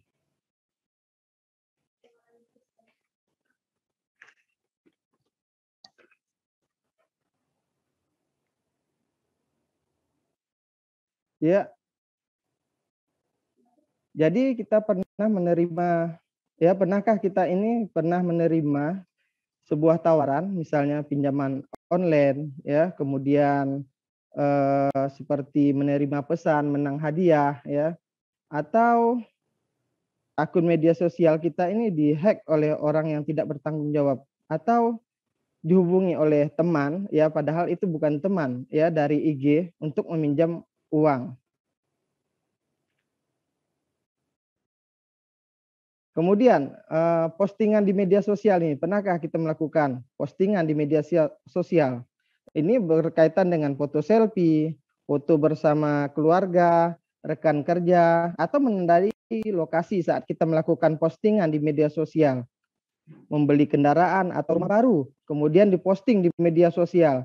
Dimanfaatkan ini. Ini bisa dimanfaatkan oleh orang yang tidak bertanggung jawab. Kemudian kita mendownload suatu aplikasi dan memberikan akses ya apakah nanti uh, izin akses itu akan memberikan atau mengetahui data pribadi kita dari suatu aplikasi tersebut. Kemudian ketiga, kita menerima pertemanan orang yang tidak dikenal di media sosial. Apakah ini berbahaya? Apakah akan uh, suatu saat nanti uh, teman yang tidak kita kenal, kita terima di media, media sosial ini akan mengamati data pribadi dari kita. Jadi kesimpulannya, apakah data pribadi yang disebar dapat disalahgunakan oleh pelaku kejahatan cyber? Uh, ini ada beberapa kasus ya data kebocoran data ya. Pertama pada tahun berapa tahun yang lalu ini lebih dari 100 warga Pontianak di Kalimantan Barat ini menjadi korban penipuan dengan penyalahgunaan data pribadi ya yang berkedok poin travel online. Ini berapa korban di antaranya adalah para driver ojek online ya. Uh, modusnya itu warga diiming-iming ya dengan sejumlah uang atau seju, kalau tidak salah ribu uang yang di diiming-imingkan berfoto selfie dengan KTP, tapi dilakukan uh, setelah ditelusuri ya, kemudian foto-foto warga tersebut diajukan dalam sebuah kredit. Yang mana yang tadi tiket-tiket itu kemudian dijual kepada warga melalui media sosial dengan harga yang lebih murah. Akibatnya ini para korban ya yang didatangi oleh pihak bank dan mendapatkan tagihan pinjaman dari bank.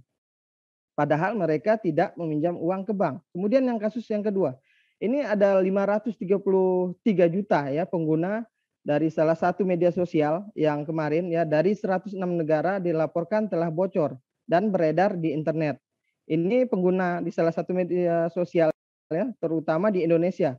Ada sekitar 130 ribu pengguna. Data pribadi yang bocor itu meliputi nama lengkap, nomor telepon, lokasi, tanggal lahir, dan pekerjaan. Bahkan alamat email. ya. E, kemudian hal itu membuat ratusan juta data tersebut tersedia secara luas untuk siapa pun untuk mengaksesnya. Ini yang akibat dari kebocoran data. Lalu apa itu data pribadi?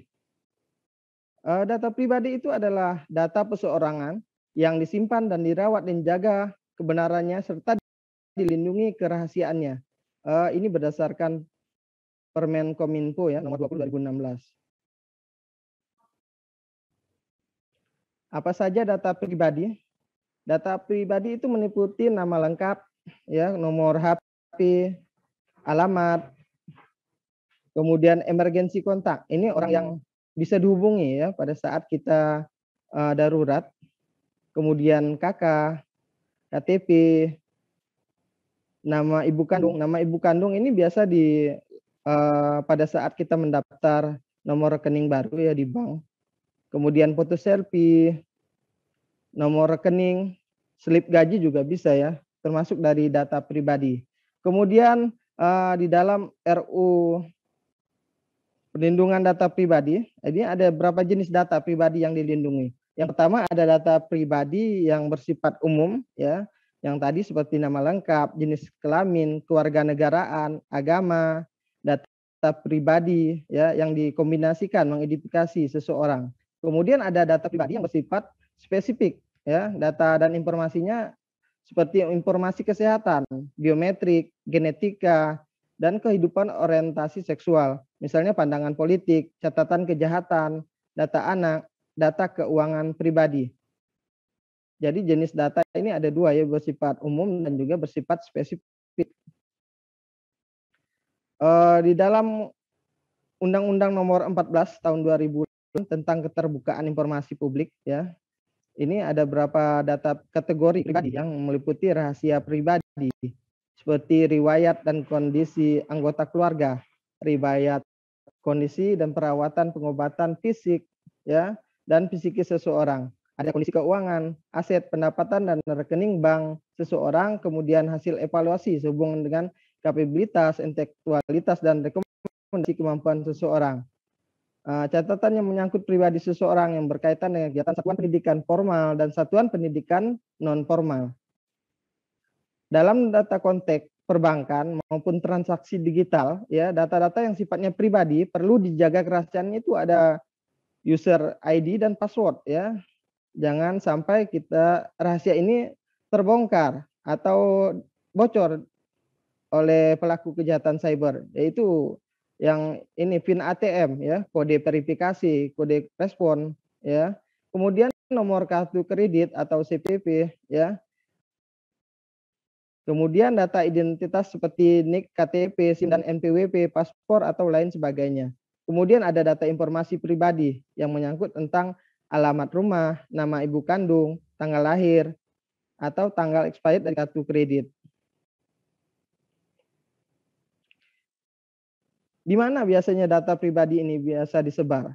Sebagian besar data pribadi itu biasa kita sebar adalah di media sosial. Ya, sangat benar sekali. Pertama adalah foto ya. Foto ini berkaitan dengan foto anak, foto kita atau foto keluarga yang biasa kita sebar di media sosial.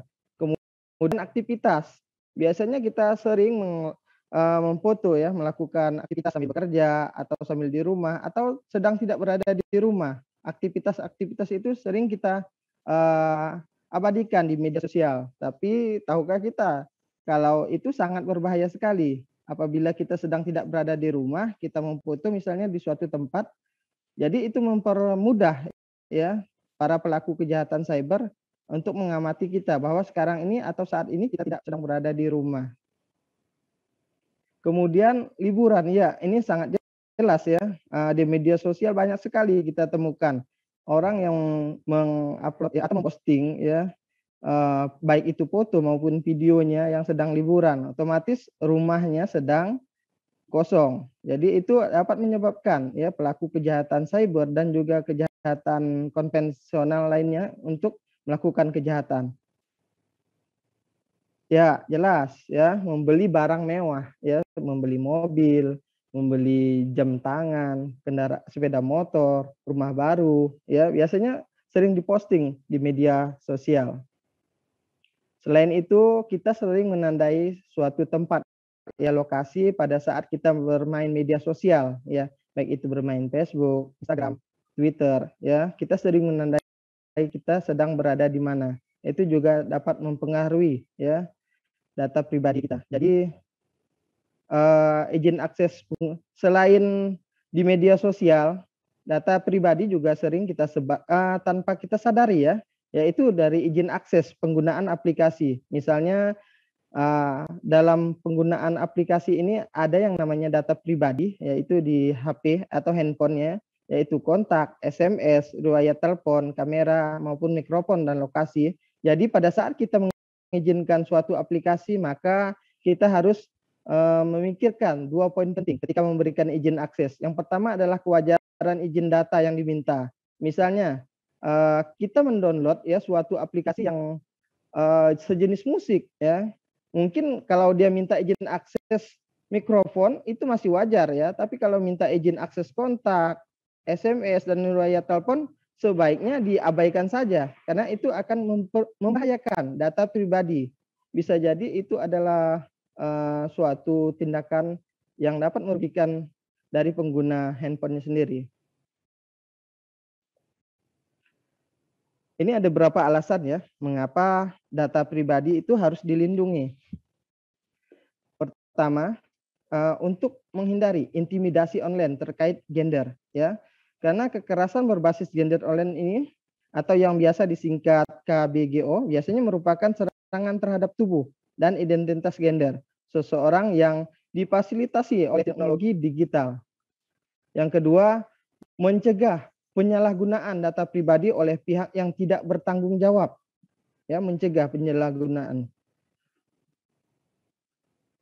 Kemudian yang ketiga, menjauhi potensi penipuan, ya. Yang keempat, menghindari potensi pencemaran nama baik, ya. Pencemaran nama baik ini biasanya dilakukan oleh pelaku kejahatan dengan cara mencuri data pribadi nama baik seseorang di media sosial. Setelah menguasai akun orang lain, lalu melakukan pinjaman sejumlah uang dari teman-temannya di media sosial atau nama akun orang yang dihack itu terjadi pencemaran nama baik ya. Jadi hati-hati. Mengapa kita harus melindungi data pribadi kita? Jadi ini alasannya. Selain itu ada hak kendali atas data pribadi. Yang pertama alasan hak dari kendali atas data pribadi ini adalah uh, hak asasi dan privasi ya yang tercantum dalam Deklarasi Universal yang manusia 1948 ya pasal 12 Kemudian data pribadi ini merupakan aset atau komoditas yang menilai tinggi di era big digital ini ya, big data dan ekonomi digital ya. Kemudian RUU PDP ya yang dimaksudkan untuk minimalisir pelanggaran privasi. Kemudian penyalahgunaan data pribadi yang meningkatkan kesadaran masyarakat untuk menjaga data pribadi sendiri. Bagaimana cara melindungi data pribadi? Yang pertama, hindari penyimpanan username dan password akun-akun penting ini secara otomatis ya. Ini kebiasaan kita kalau di HP ya, terutama di handphone ya. Biasanya kita menggunakan username atau password itu secara otomatis. Ini sangat berbahaya.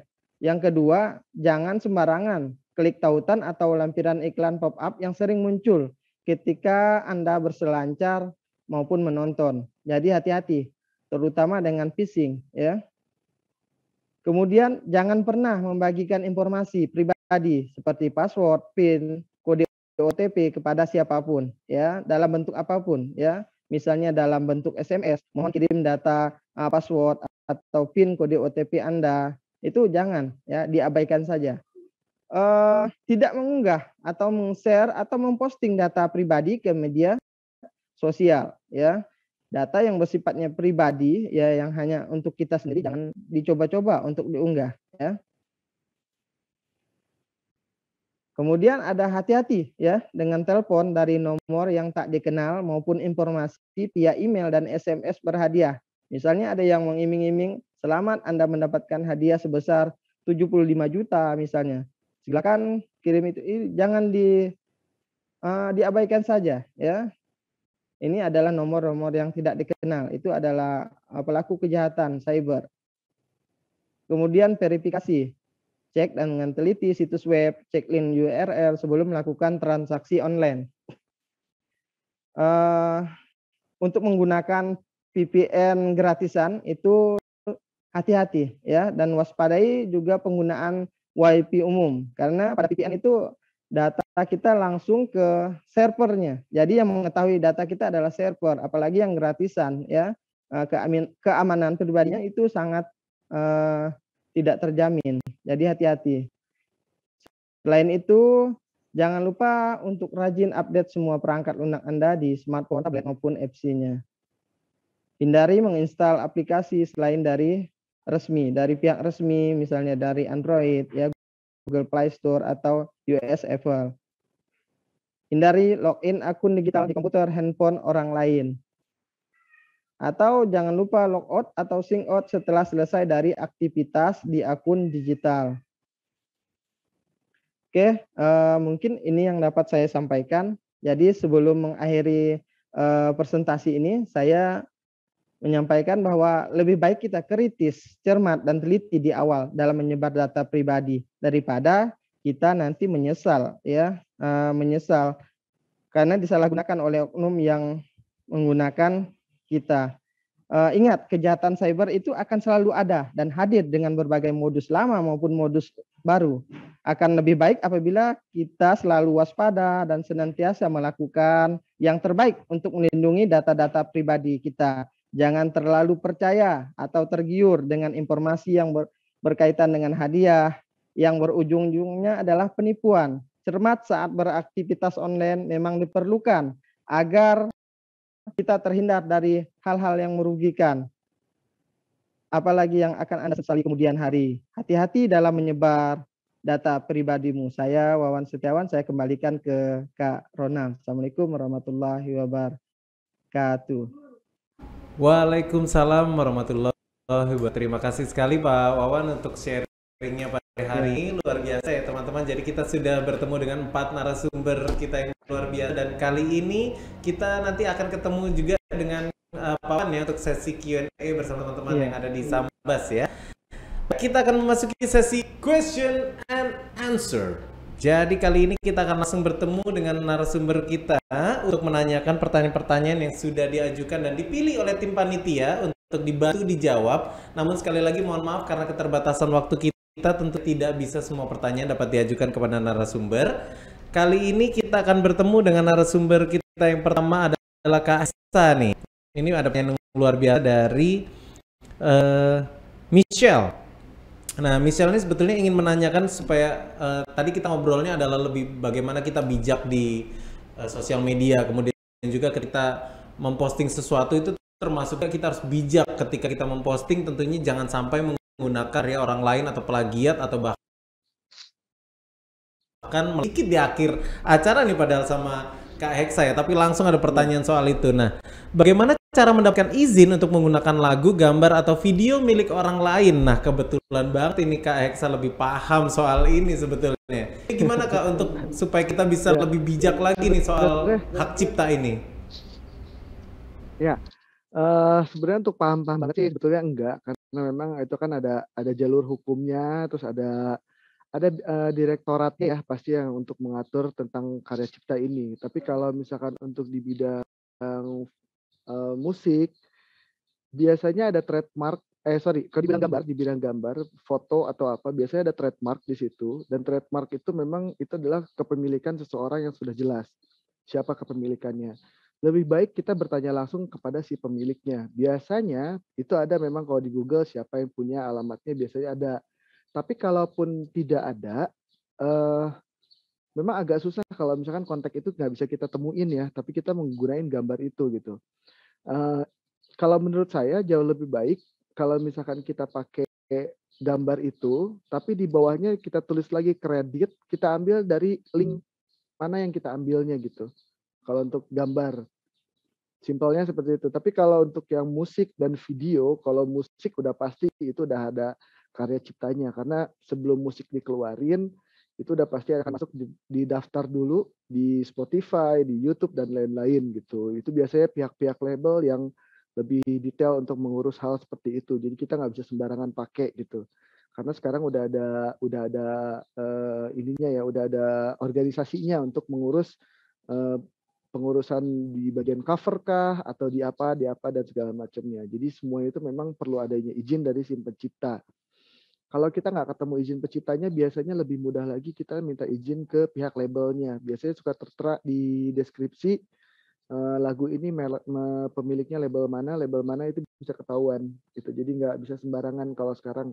Karena kalau sembarangan juga kita langsung pakai lagu itu, kita ubah ke dangdut, kita ubah ke lagu Jawa atau ke mana. Uh, hati-hatilah bahwa akan sangat mudah kita kena penalti. Itu biasanya 300 kali lipat nominalnya bisa miliaran itu. Dan itu harus harus benar-benar hati-hati banget di situ gitu. Oke. Gitu. Jadi benar-benar hati-hati karena nominalnya nggak kecil nih teman-teman ya. Ya, jadi nominalnya nggak ada yang kecil, nggak ada orang mau nuntut satu itu masalah cuma dengan 5 juta nggak. Yang aku tahu terakhir aja ada sedikit ya yang aku dapat info itu uh, si pihak pencipta itu ngegugat dia minta itu 5 miliar kepada seorang yang udah mau merubah lagunya ke bahasa lain. Jadi wow. hari gini nyari duit 5 miliar. Makanya Pani begini, cuma pengen niatnya produktif di konten ternyata malah digugat gitu kan. Wih. Ya, itu yang bahaya. Karena dia punya hak kan, dia punya hak untuk mengajukan saya terserah saya mau minta berapa gitu. Karena saya pemiliknya, gitu yang hati-hati sih itu.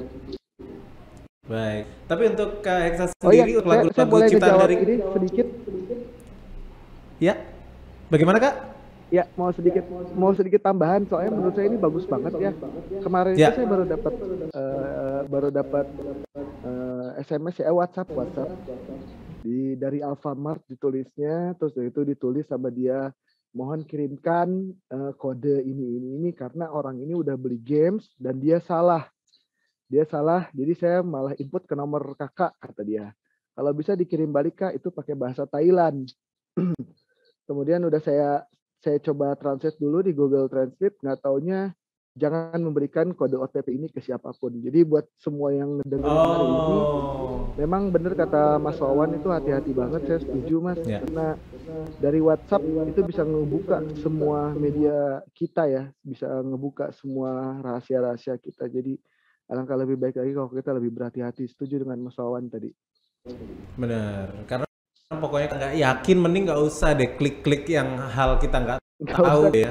Nggak usah nggak usah. Nggak usah deh. Nggak usah. Jauh-jauh sih. Hati-hati banget. Oke mungkin sambil uh, closing statement juga dari Kak Asa karena setelah sesi Q&A ini uh, kita akan berakhir juga. Mungkin ada closing statementnya untuk teman-teman yang ada di Sambas nih tips sentrik mungkin. ya, yang pasti yang pertama seperti yang tadi tips yang saya berikan jangan jangan yang sara dan lain-lain sesuai dengan ibu guru juga dengan ibu dengan narasumber yang lain saya setuju. Kemudian di samping itu ayo kita berusaha pasti ada celah di mana pun itu pasti ada celah. Saya yakin pasti ada celah. Asal kita mau bergerak dan kita mau mencoba dan jangan pernah takut gitu. Sekalipun kita gagal itu pasti buah dari keberhasilan kita. Jadi teruslah berkarya, terus ciptakan hasil, eh, ciptakan sesuatu yang positif kepada semuanya, khususnya untuk negara kita Indonesia. Itu aja. Sih. Salam sehat yang pasti. Terima kasih sekali Kak Heksa sudah bergabung bersama sore hari ini udah membantu menjawab juga luar biasa. Untuk bantuan jawabannya dan kali kita akan bertemu dengan narasumber sumber berikutnya untuk pertanyaan dari peserta nih ada pertanyaan yang luar biasa juga untuk Bu Dewi baik Bu Dewi ini pertanyaan datang dari Maria Daniela SF bukan San Francisco ya. Bagaimana cara memberitahu orang bahwa konten yang dibuatnya ada unsur-unsur seharusnya tidak boleh diposting dengan menyakiti perasaan? Ini bagaimana cara mengkomunikasikan berarti Bu Dewi? Boleh dibantu mungkin itu jawab Oke, terima kasih untuk Maria ya pertanyaannya. Bagaimana cara mengkomunikasikan agar uh, apa tadi, Mas? Mohon maaf. Tapi bagaimana cara ngomongnya supaya tidak menyakiti perasaan? Jadi udah ketahuan nih ada unsur sara nih mau ngebilangin tapi gimana bahasanya supaya nggak nyakitin gitu sama yang punya konten? Oke, jadi mungkin ini kalau kalau orang yang bikin konten itu yang mengandung unsur sara itu teman baik kita, maka cara komunikasinya uh, kita juga harus menerapkan etika sopan santun, menegurnya. Jangan langsung eh itu postingan kamu itu mengandung sara loh, jangan jangan posting. Tapi mungkin dengan cara yang baik, uh, mohon maaf, misalnya A, si A atau si B, uh, sepengetahuan saya postingan kamu itu mengandung sara, ada unsur suku, agama saya rasa jangan diposting ya, nanti akan berakibat yang fatal loh. Mungkin pakai bah eh, menggunakan bahasa yang lebih sopan, santun, menegur meskipun itu teman kita itu lebih baik ya. Maria ya, jangan gunakan kalimat-kalimat yang mungkin membuat orang lebih marah lagi kalau ingin menegur eh, postingan-postingan mereka di media sosial. Mungkin seperti itu Mas Ronald? Iya. Oke, jadi Maria jangan sampai ditambahin "Hey, biang hoax gitu, gak usah, jangan ya. Jadi iya, bahasa yeah, yang yeah, lebih sopan aja, jangan lupa disertai dengan fakta yeah. juga untuk menginformasikan gitu ya. Baik, terima kasih mungkin, sekali. Uh, ingin menambahkan ya. sedikit ini, Mas Rona. Uh, boleh, mungkin nanti Maria, Budi. Maria boleh ajak teman-temannya ya untuk ikut webinar kegiatan-kegiatan literasi digital ini yang sangat bermanfaat sehingga nantinya mereka-mereka semua itu teredukasi. Jadi semakin cakap digital, sopan dalam bermedia sosial. Oke, okay, Mas Renal. Terima kasih sekali Bu Dewi sudah membantu mengajak teman-teman ikutan literasi digital ini penting uh -uh. sekali. Tadi kayak orang receh banget ngikutin webinar soal sosial media kan kita tiap hari sosial media. Ternyata kita dapat banyak ilmu uh -uh. baru gitu kan. Baik, iya, iya sekali. sekali. Ya, terima kasih Bu Dewi untuk bantuan jawabannya ya, untuk Maria. Sama -sama. Semoga bisa jawab ya. Baik, dan kali ini kita akan bertemu dengan narasumber kita berikut Key Opinion Leader kita juga ada pertanyaan nih. Zea. Kali ini kita akan bertemu dengan Kak Danis. Kak Danis, ada pertanyaan nih. Pertinyi ini. Adakah tips untuk membangun personal branding di media sosial supaya ketika nantinya kita menjadi uh, review kan banyak uh, tawaran kerjasama. Wah ini saya juga harus mendengarkan nih jawaban dari Kak Danis. Silakan Kak Danis, saya siap screen recording dan merekam semua jawabannya Kak Danis nih, personal branding. Uh, ya, halo, selamat sore Kak Ronald dan terima kasih pertanyaan buat Kak Fauzia. Uh, kalau misalnya personal branding sih kita harus cari ini ya diferensiasi kita dari orang lain. Misalnya nih, kalau dari aku sendiri mungkin Enggak terlalu sebenarnya bukan terlalu pede sih apa ya. Kalau secara fisik mungkin banyak banget ya orang yang di yang lebih cantik, lebih lain-lain dan aku lebih fokusin ke ke makanan-makanan yang aku shoot. Nah, seperti itu. Nah, misalnya kalau mungkin dari uh, Ronald sendiri mungkin punya diferensiasi apa? Mungkin Kakak suka jago jago apa ya bikin bikin apa sih kayak lawakan atau apa ya mungkin lebih lebih Ya, ya, ke yang informal. Nah, mungkin itu bisa ditonjolin ke orang-orang. Jadi carilah diferensiasi dari kamu sendiri. Saya menonjol Gitu. Karena kan salah tempat gitu. Harusnya moderator serius tapi jadinya ada ngelawaknya. Ini agak agak bingung sebetulnya diferensiasinya. Jadi nggak bisa personal branding sebetulnya. Iya, kalau dari food reviewer sih itu sih mungkin kamu dari kalau dari aku sih dari suara juga sih. Suara itu beda dari yang lain karena kalau misalnya orang udah tahu video ini, oh ini ternyata dari Kak Danis gitu. Dari dari segi cara video yang nge-shoot itu dan dari suara kalau dari aku. Nah, kalau dari kalian ya kalian harus cari sendiri dari beberapa pengalaman kalian dan yang dinotis sama teman-teman kalian itu bagian apanya. Nah, itu yang kalian up kayak gitu. Oke, jadi pastinya balik lagi temukan perbedaan kita atau kekuatan kita untuk menjadi yang lebih menonjol daripada yang lain gitu ya. Walaupun mungkin kita bisa Iya. pakai ATM juga ya. Jadi amati, tiru, terus modifikasi. Jadi nggak harus plagiat banget. gitu Bener. kan. Oke, Bener banget, semoga Kak. bisa membantu menjawab ya Fauzia ya. Jadi temukan kekuatan dirimu sama seperti saya harus menemukan diri saya ini sebetulnya siapa, moderator atau pelawak gitu ya. Baik, kita akan lanjut lagi untuk pertanyaan selanjutnya. Kali ini pertanyaan untuk Wah, Pak Wawan nih. Pertanyaannya datang dari Sanidi. Ini balik di sana. Baik. Sekarang kan kita suka banget mengabadikan momen-momen lalu kita post sosial media. Lalu sewaktu-waktu orang bisa saja mengambil eh, data pribadi kita. Jadi gimana Pak? Apakah tidak bermain sosial media merupakan cara aman biar data kita tidak mudah dicuri? Menurut Bapak bagaimana cara amannya menggunakan sosial media biar data pribadi atau privasi kita tidak mudah dicuri melalui media sosial? Silakan Pak Wawan untuk membantu menjawab. Oke, terima kasih Mas Ronald. Eh, terima kasih pertanyaannya oleh Sanidi. Pertanyaan yang bagus sekali ya. Jadi ada beberapa hal yang kita perhatikan dalam posting di media sosial. Eh, sebaiknya sih menggunakan media sos- sosial ya, jangan sampai kita tidak menggunakan media sosial. Jadi yang pertama itu adalah hati-hati ya dalam memposting sesuatu. Jangan asal posting, tapi pikirkan dulu sebelum memposting ya apalagi yang kita posting adalah berkaitan dengan data pribadi ya data yang bersifatnya sensitif jangan sampai apalagi sampai selfie dengan menggunakan KTP misalnya. Nggak nggak usah lah ya. Oke. Yang kedua eh, berhati-hati dalam memilih teman di media sosial. Bisa jadi teman yang eh, mencoba ya untuk berteman dengan kita itu adalah orang-orang yang ingin mengamati data pribadi kita. Jadi kita harus berhati-hati ya. Kalau tidak dikenal ya atau yang sifatnya masih akunnya yang sifatnya fake yang di eh, diterima dulu. Kemudian yang ketiga hindari ya klik link atau tautan ya seperti kalau di media sosial itu misalnya ada sebuah kalimat ya yang ajakan yang sifatnya wah wow banget ya lalu kita klik itu akan menyebabkan kita akan mengarahkan data kita sendiri ya itu hati-hati yang ketiga Jangan lupa gunakan sandi yang berbeda dan unik ya. Pastinya harus gunakan sandi yang eh, yang kuat istilahnya ya.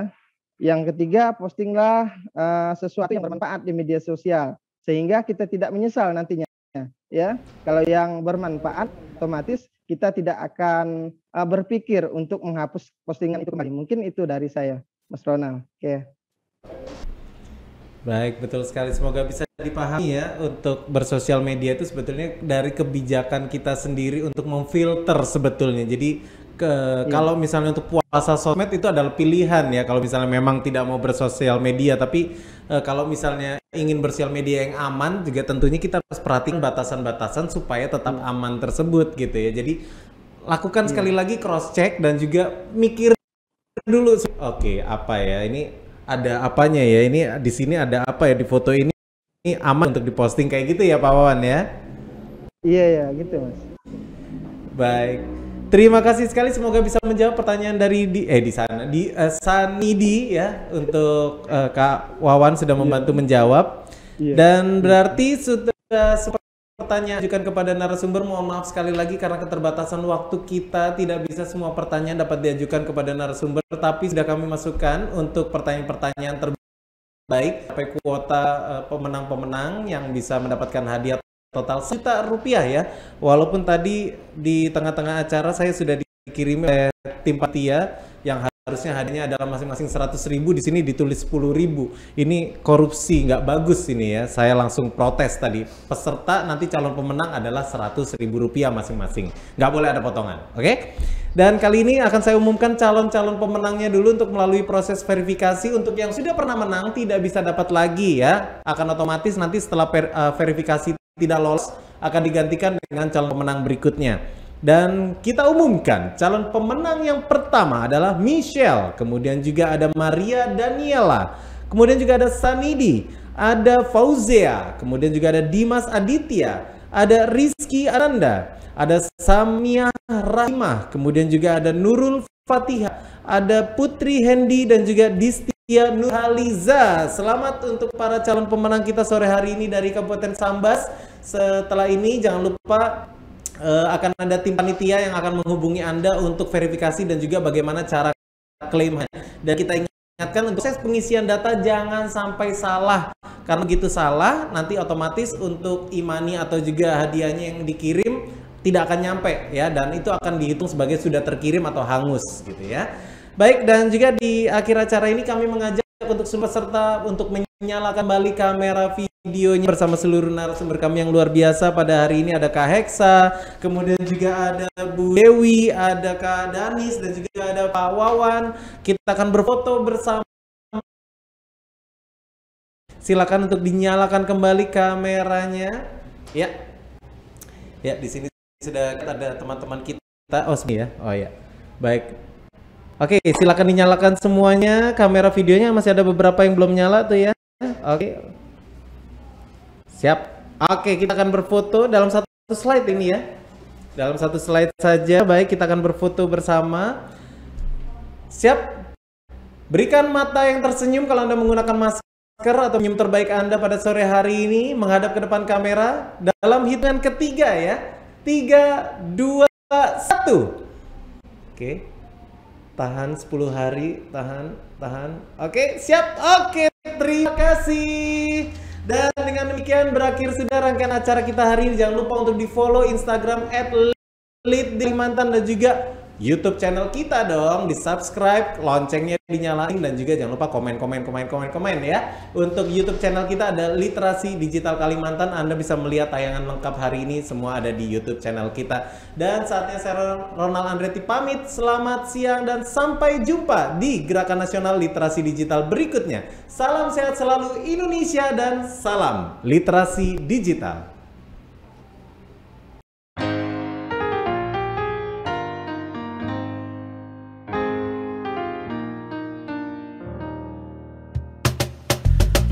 Tolong aku melolong Baca sosmed bikin aku bengong. Banyak berita isinya bohong. Bikin orang jadi saling menggonggong Seperti ada niat sebar kebencian. Tanpa peduli akan ada kerugian. Seperti dapat munculnya permusuhan Karena tertipu jadi curigaan. Gue pernah baca hoax di sosmed Yang jadi merugikan tukang trompet. Katanya trompet bisa bikin kanker. Trompet sih cuma bisa bikin bibir doer. Sylvester Stallone dibilang mati. Brad Pitt juga dibilang mati. Mr. Bean, Jackie Chan juga dibilang mati. Seneng banget doain orang mati. Uh. Harusnya ada etikanya. Bermain sosial media. Tak bisa asal mengirim tanpa dipikirin Bisa fatal akibatnya. Bersihkanlah udara kita Dari kebencian